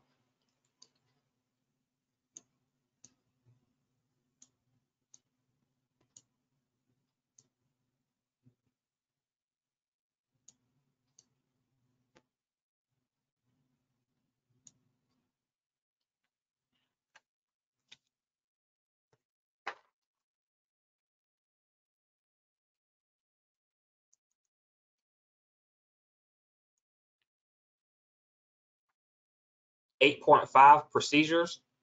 This editorial change is required due to incorrect cross references in four sections within chapter eight. And you can see those four changes on screen now.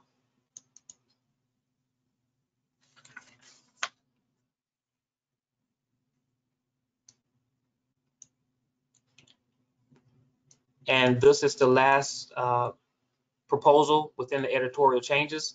As a reminder, uh, once we, during your vote, if you accept these editorial changes, uh, you will accept all of the editorial changes that I just went through in one vote.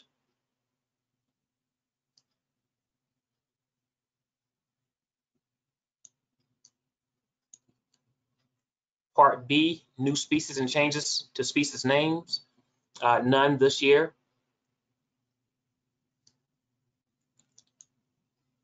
And the ISTA stabilized list, uh, the next revision for the ISTA stabilized list will be considered at the 2025 ISTA annual meeting.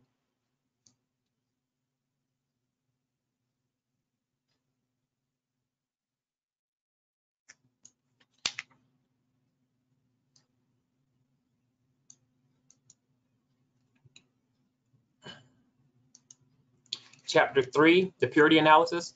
C.3.1 revision of table 3A. The purity committee met with the um, owner of several varieties that are no longer being traded and as a result of these discussions, the committee decided to delete several names from table 3A. And these names can be viewed here.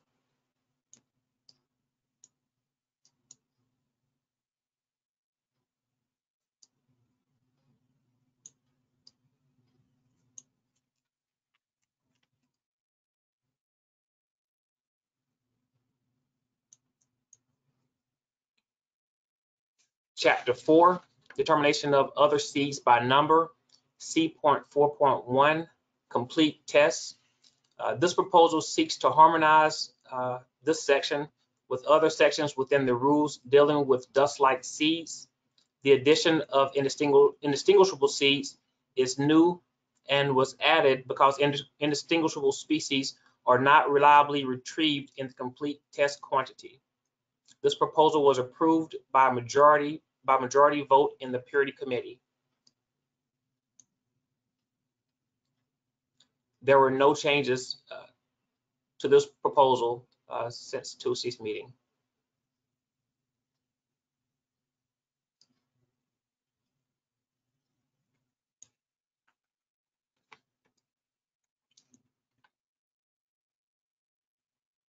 C.4.2, reduced test.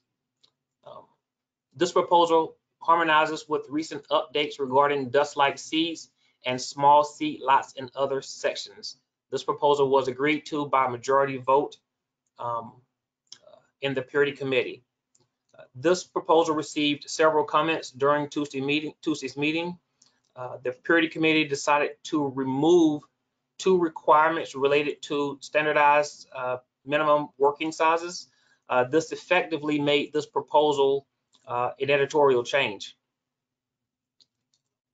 There was an additional comment that I did not get to read on uh, Tuesday. It was from Canada in support of the principle that there should be a standardized minimum working weight or number for small seed lots uh, or expensive seed lots that would encourage Purity and other interested TCOMs to, and they encourage Purity, the Purity Committee and other interested TCOMs to continue work on this proposal. So that comment was in support of this uh, proposal.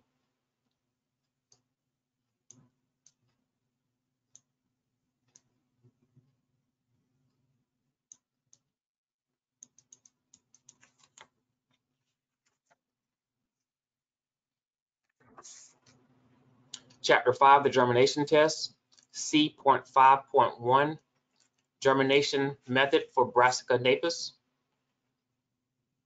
A validation study was conducted on Brassica napus to determine what temperature requirements for germination promoted higher normal seedling development and enhanced testing reproducibility among labs. Uh, This proposal was supported by the germination committee. We also received uh, several comments on this proposal. Um, After discussion, uh, the germination decided not to modify this proposal, so it has not been changed since uh, Tuesday's, uh, last Tuesday's discussions.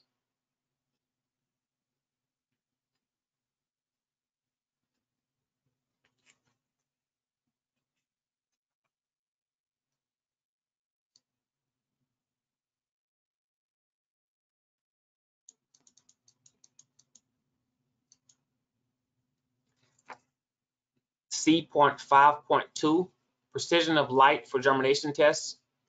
Uh, This proposal is to make clear that, uh, clear that in the germination chapter, that LED lights can be used for germination. This proposal is supported by the germination committee.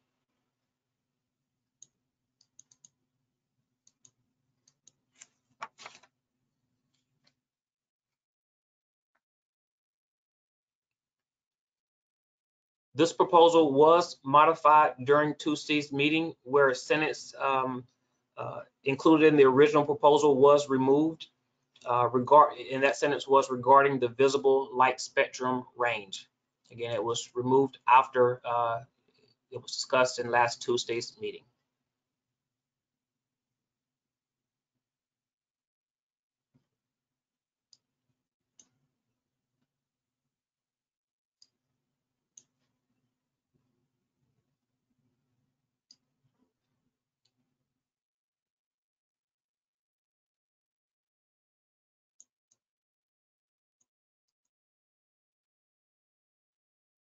C.5.3, uh, reporting results. This proposal was submitted to the germination committee by the ISTA accreditation department. Uh, it is to make clear that only germ, only the percentage germination is reported when the germination test is terminated due to a predetermined germination level. If approved, a consequential change is required in 1.5.2.6, and this proposal is some, supported by the germination committee. I have not, I did not receive any additional change uh, since uh, the last uh, discussion on this Tuesday.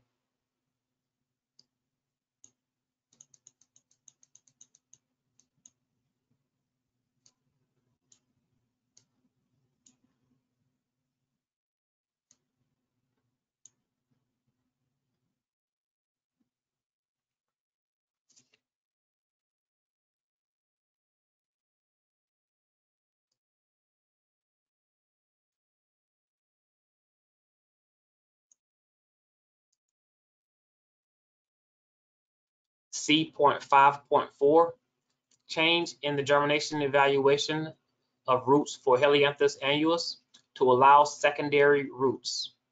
Uh, a validation study was carried out in the germination committee to change the evaluation of roots for Helianthus annuus to allow secondary roots when the primary root is defective. This proposal is supported by a validation study and is approved by the germination committee. Uh, I, did not receive any uh, changes from the germination committee on this proposal.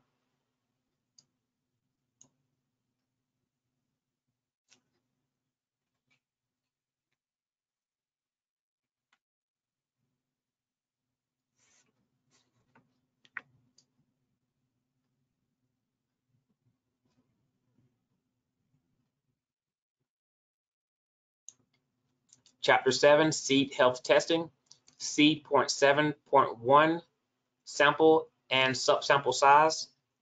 Uh, This proposed change will increase harmonization for sample and subsample size uh, throughout the chapter.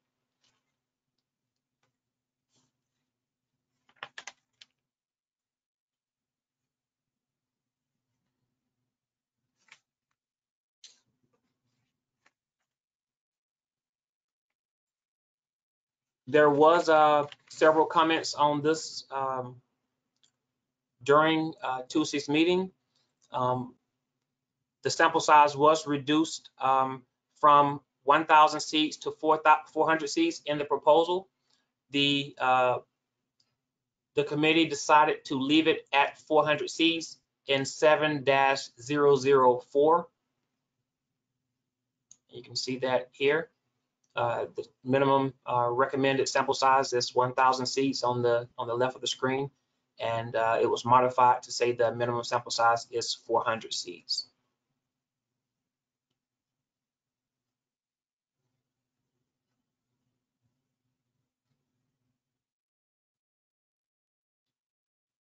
Uh, it's important that uh, we, um, I think the the Seed Health Committee wanted to remind everyone that this is a minimum sample size.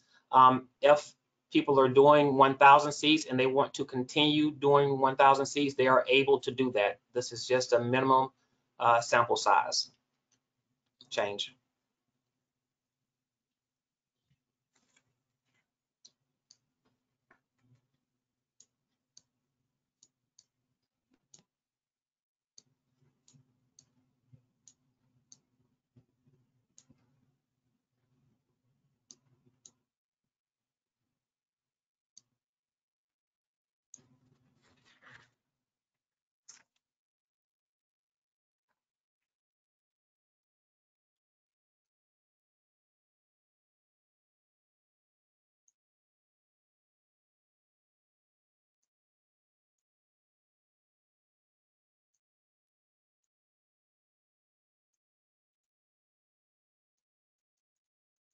Green coloring you see on the right-hand side of your screen uh, is a change that was made um, after uh, the proposals were originally um, uh, uh, sent to the membership uh, two months ago.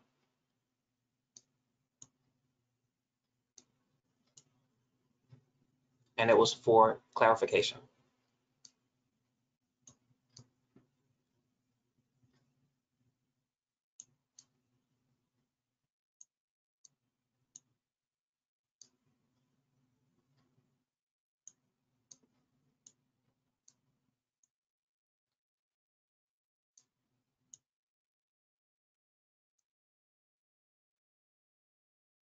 Again, this is a lot of information that I am scrolling through um, pretty fast, but um, none of, I am stopping on anything that may have changed since the last time uh, these proposals were um, discussed by us on Tuesday.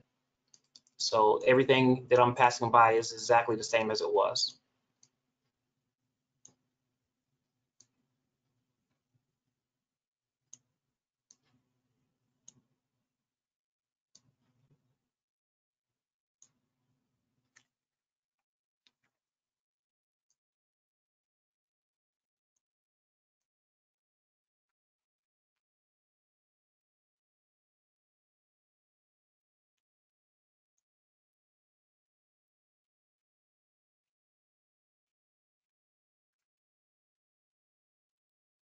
And that is all the changes for that proposal.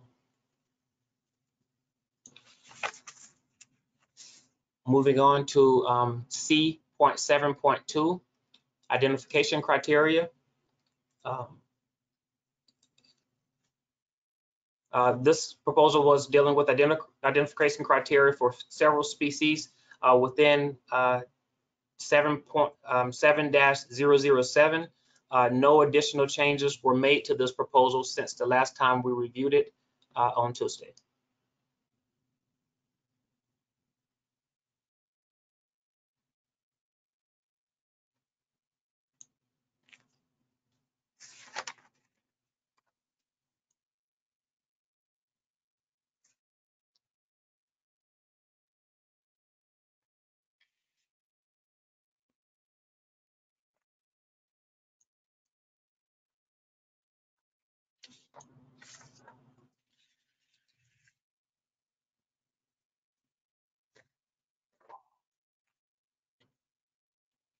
Um, C.7.3, safety precautions. Uh, This proposal makes clear that alternative chemicals other than ethidium bromide may be used for this method.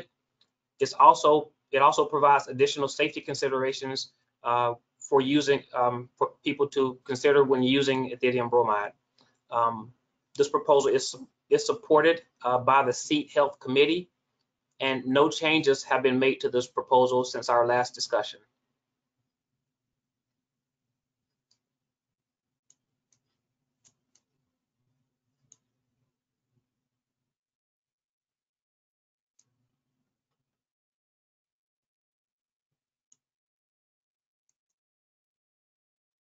There was during the discussion a, um, a comment on uh, the safety issue uh, involving um, uh, safety requirements involving UV light. Uh, at the time, the person that made the comment may not have seen that there was a statement included by the Seed Health Committee uh, in this proposal, and it is in the center of your screen here.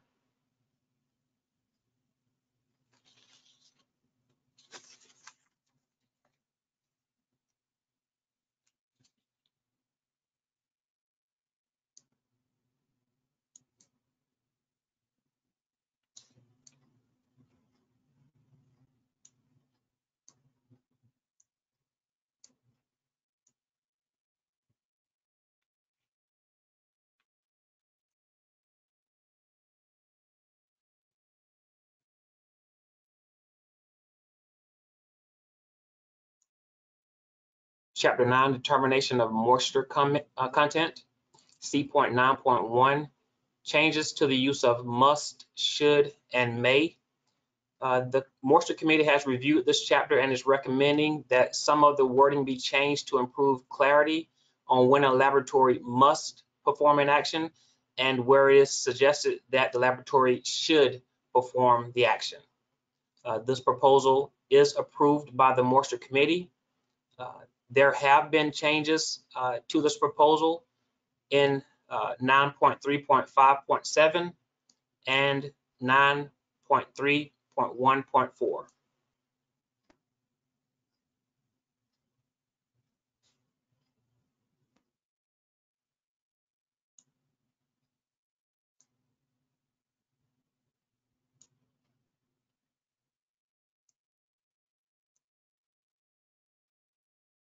So in 9.2.5.7, originally this was um, was was this must was a should.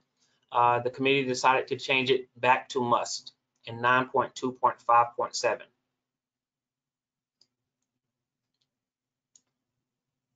The same thing uh, in 9.3.1.4 under grinder. Uh, originally, this was a should. The committee decided to change it to a must, uh, to, to let it remain must in the chapter.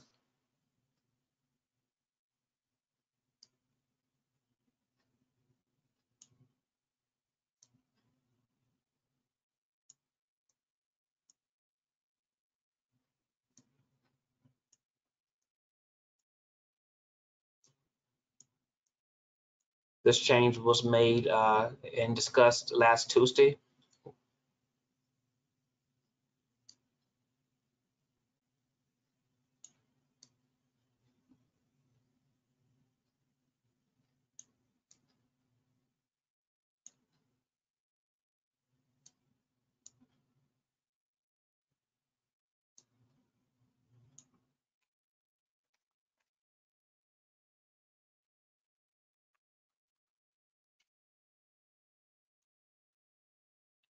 And that concludes the changes for, for, um, for C.9.1.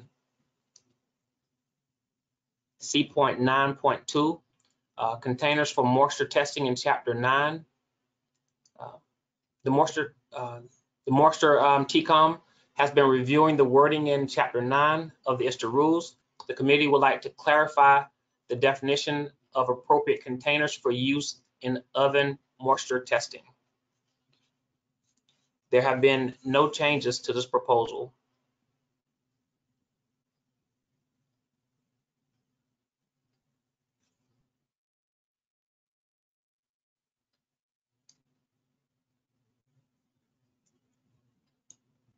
C point nine point three, the use of mesh instead of meshes. The committee feels that in the instance below, the use of meshes is incorrect as it implies multiples of mesh and would prefer the, to use a singular mesh to describe, to describe sieves. And there have been no changes since this proposal was first submitted.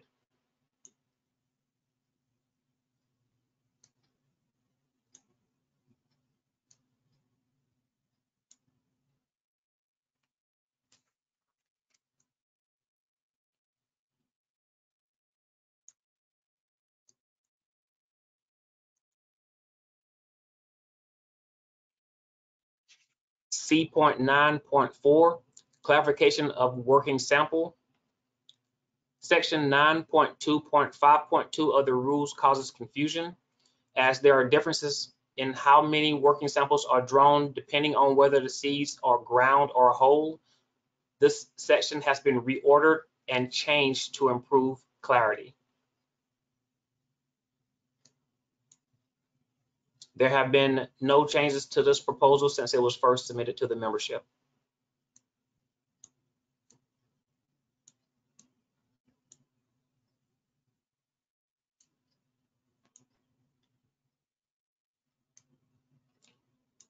There was a comment about um, the deletion of this information at the at the top. Uh, the information is still in the in the proposed version. It's just scattered throughout so that it is um, so that it reads a little more, um, so that's a little more clear.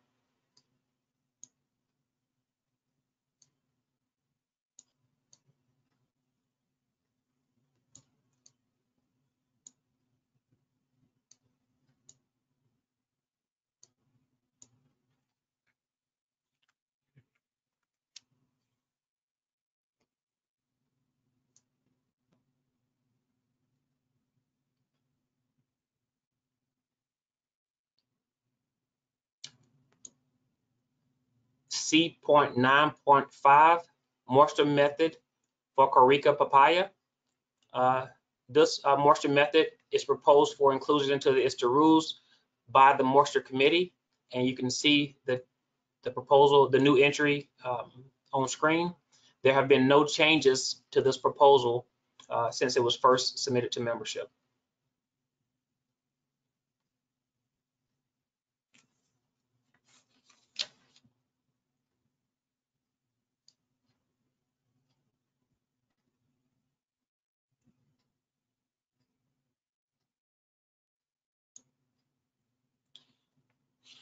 And the final proposal, uh, chapter 15, uh, seed vigor testing, uh, C.15.1, clarification of the assessment of the radicle emergence uh, for Zea mays and Triticum, Triticum aestivum, subspecies aestivum, in the radicle emergence test. Uh, this proposal has three aims to clarify the assessment of a two millimeter radicle to be consistent and to be consistent in the description of the germination media for the radicle emergence test for Zea mays and Triticum aestivum, subspecies, subspecies aestivum, to express uh, all Latin names according to the stabilized list. Um, all the validation uh, for this radicle emergence test has been done without any magnification and has achieved repeatability and reproducibility. Thus, the committee does not see the need for magnification. To allow magnification, the level of magnification that should be used would have to be specified. Thus, will require further investigation to determine whether the results remain repeatable and reproducible.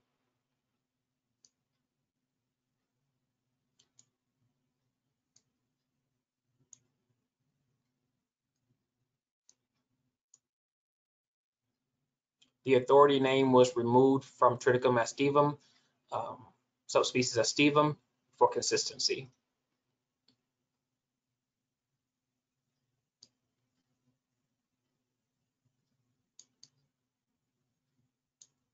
And this is how the proposed version will look in the rules.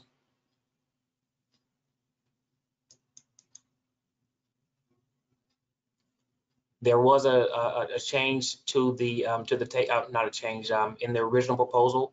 Uh, in addition to the to the table title that says all assessments of the radicle emergence uh, should be made by eye and without magnification. Again, um, the committee uh, explained that uh, if you would like to use magnification or put that in the ISTA rules, then additional uh, studies would need to be done on and a specific magnification would need to be chosen uh, for that. So this is a by eye method.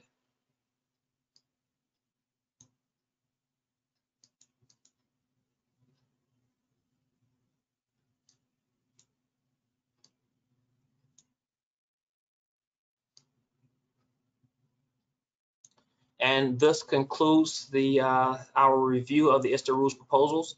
Again, I went through them um, at a at a um, at, at, a good rate um, because we've, all, we've already reviewed a lot of these. Uh, there were no changes for a lot of them. I, I'm pretty sure I caught all of the changes that were made since last Tuesday's vote. So um, Andreas uh, next will explain um, the voting process and how that's going to take place. Thank you. Thank you, Ernest. Um, just one point from from my side. If you want to follow up Steve mentioned that before the session on uh, May 19. You can do that on the ISTA YouTube channel and can see all the um, and listen to all the discussions which were happening there. I would like to guide especially the voting uh, designated members um, through the voting sheet they received together with an email. Um, you see parts of this voting sheet um, on the screen now. Uh, we kindly ask you to fill the voting sheet. You can do that electronically and put in your name as a voting delegate, the country you are entitled to vote for. And then you click on the yeses, nos, or abstains um, we had to include the abstains. We are not normally doing that um, because we have the cards or the, the, the nice um, tools where you can vote yes or no or do not do anything. But uh, as this is a kind of electronic uh, uh sheet, if you click yes, you only have to, by accident, you only have the possibility to click no instead. Um, so um, we put in the abstain if you um, don't want to vote. You, if you don't click anything here, it's also uh, an abstain. Um, on the end of the list, you should sign and date it. Date can also be filled in automatically or online here. And you should sign it and return the scanned copy to the Secretariat. Please uh, use the email um, you received the voting sheets on uh, and send it back to ista.office at ista.ch. It should be or needs to be with the Secretariat by June 5, 2020, 7 o'clock in the evening, Switzerland time. So please send it back on time so your voting can count. We will inform you on the process, on the outcome of process and the acceptance or non-acceptance of um, your voting or the votings uh, by email and by uh, social media and our other possibilities like newsletter. Uh, that is um, all from my side. I thank all the participants who, who, were here. There's another question coming up, maybe related to this.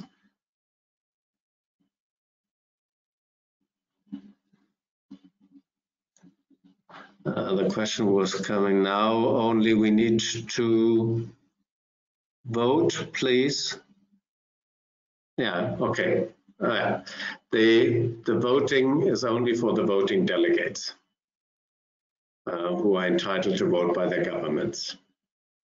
Um, I would like now to ask Steve as the president for his closing remarks, and uh, he's probably closing then this um, first virtual meeting. Thank you, Andreas. Uh, and, and, if you can ad advance the slides for me, that, that would help to go on to the next slide then. So uh, very much like to thank everyone that's joined us today online. We, we had a very good rehearsal the other day where everything went to time uh, and we didn't have any hiccups. Uh, and now we do it for real. We're, we're running about 30 minutes over and we had a few hiccups, but you only lear, learn via doing it for real. So um, I'm, I'm very much appreciate to Olga and Andreas for which I know is everything that's going on in the background to make make this uh, meeting happen. And I particularly like to focus on the good cooperation and teamwork within ISTA as an association, within the technical committees, the chairs, the members, executive committee, ISTA secretariat, designated authority, um, other organizations we link in with, and support from their host organization and companies. It's only because of that support, mainly the uh, most of the work is voluntary from those organizations and, and it is very much appreciated by the seed community to allow us to progress. So thank you to all um, and everyone from myself and, and the ECOM. Um, next slide. Um, I want to remind you to submit your voting documents. As Andreas said, it's only the designated voting members from their countries or distinct economies that, that can vote, and they need to return those forms to um, Secretariat by the uh, 5th of June. Next slide. I want to remind people that there has been a date change for the ISTA Congress in 2022. It's now to, uh, the Congress will be from the 4th to the 10th of May. And that includes the Seed Symposium, annual meeting and OGM.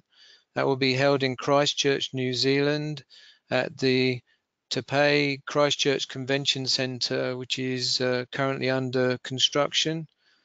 The, the, the, um, if you go to the website of the Te Pae organization, it will talk about it being a welcoming place where we can meet people and certainly enjoy Congress 2022 in, in a agricultural area in New Zealand.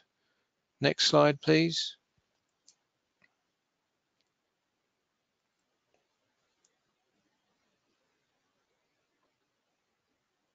And so really the next thing uh, as, as I close or bring the meeting to a close is, is to thank everybody again, especially the presenters today, um, Rita, Lena, Stefano, uh, especially, um, Keshavulu, Andreas for organizing everything, and especially Ernest, who did a terrific job there.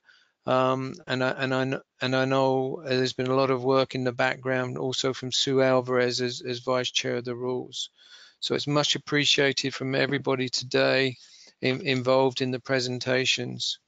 So thank you, thank you all. Um, hope to see you at uh, the next ISTA meeting in 2021, which is in Cairo, Egypt. And now I officially close this first virtual meeting of the of the membership in preparation for the OGM. Thank you very much to everybody. And uh, Andreas, I can hand back to you. I think you're on mute, Andreas. I'm on mute, yeah.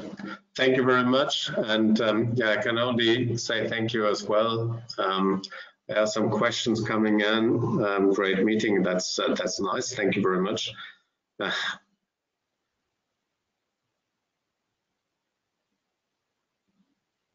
the results of the votes, so the, the question I said will be published on the social media and um, and by newsletter to you. Uh, so you will have the results and uh, um, then uh, can see what will be the changes for the rules 2021. It's of course very interesting. Yes, you will get this information. So, So that's um, just answering the, the last questions which are coming in here. Uh, a few of them I answered directly uh, in writing. Um, that was um, was easy in a few cases. Thank you very much also from our side, and thank you to all of the support of the Secretariat, especially Olga, who was doing a tremendously good job in the background. So thank you very much to, to all of all of you. We wish you um, to stay safe and hope to see you again in the future. So thank you very much. Goodbye. Goodbye, and stay healthy.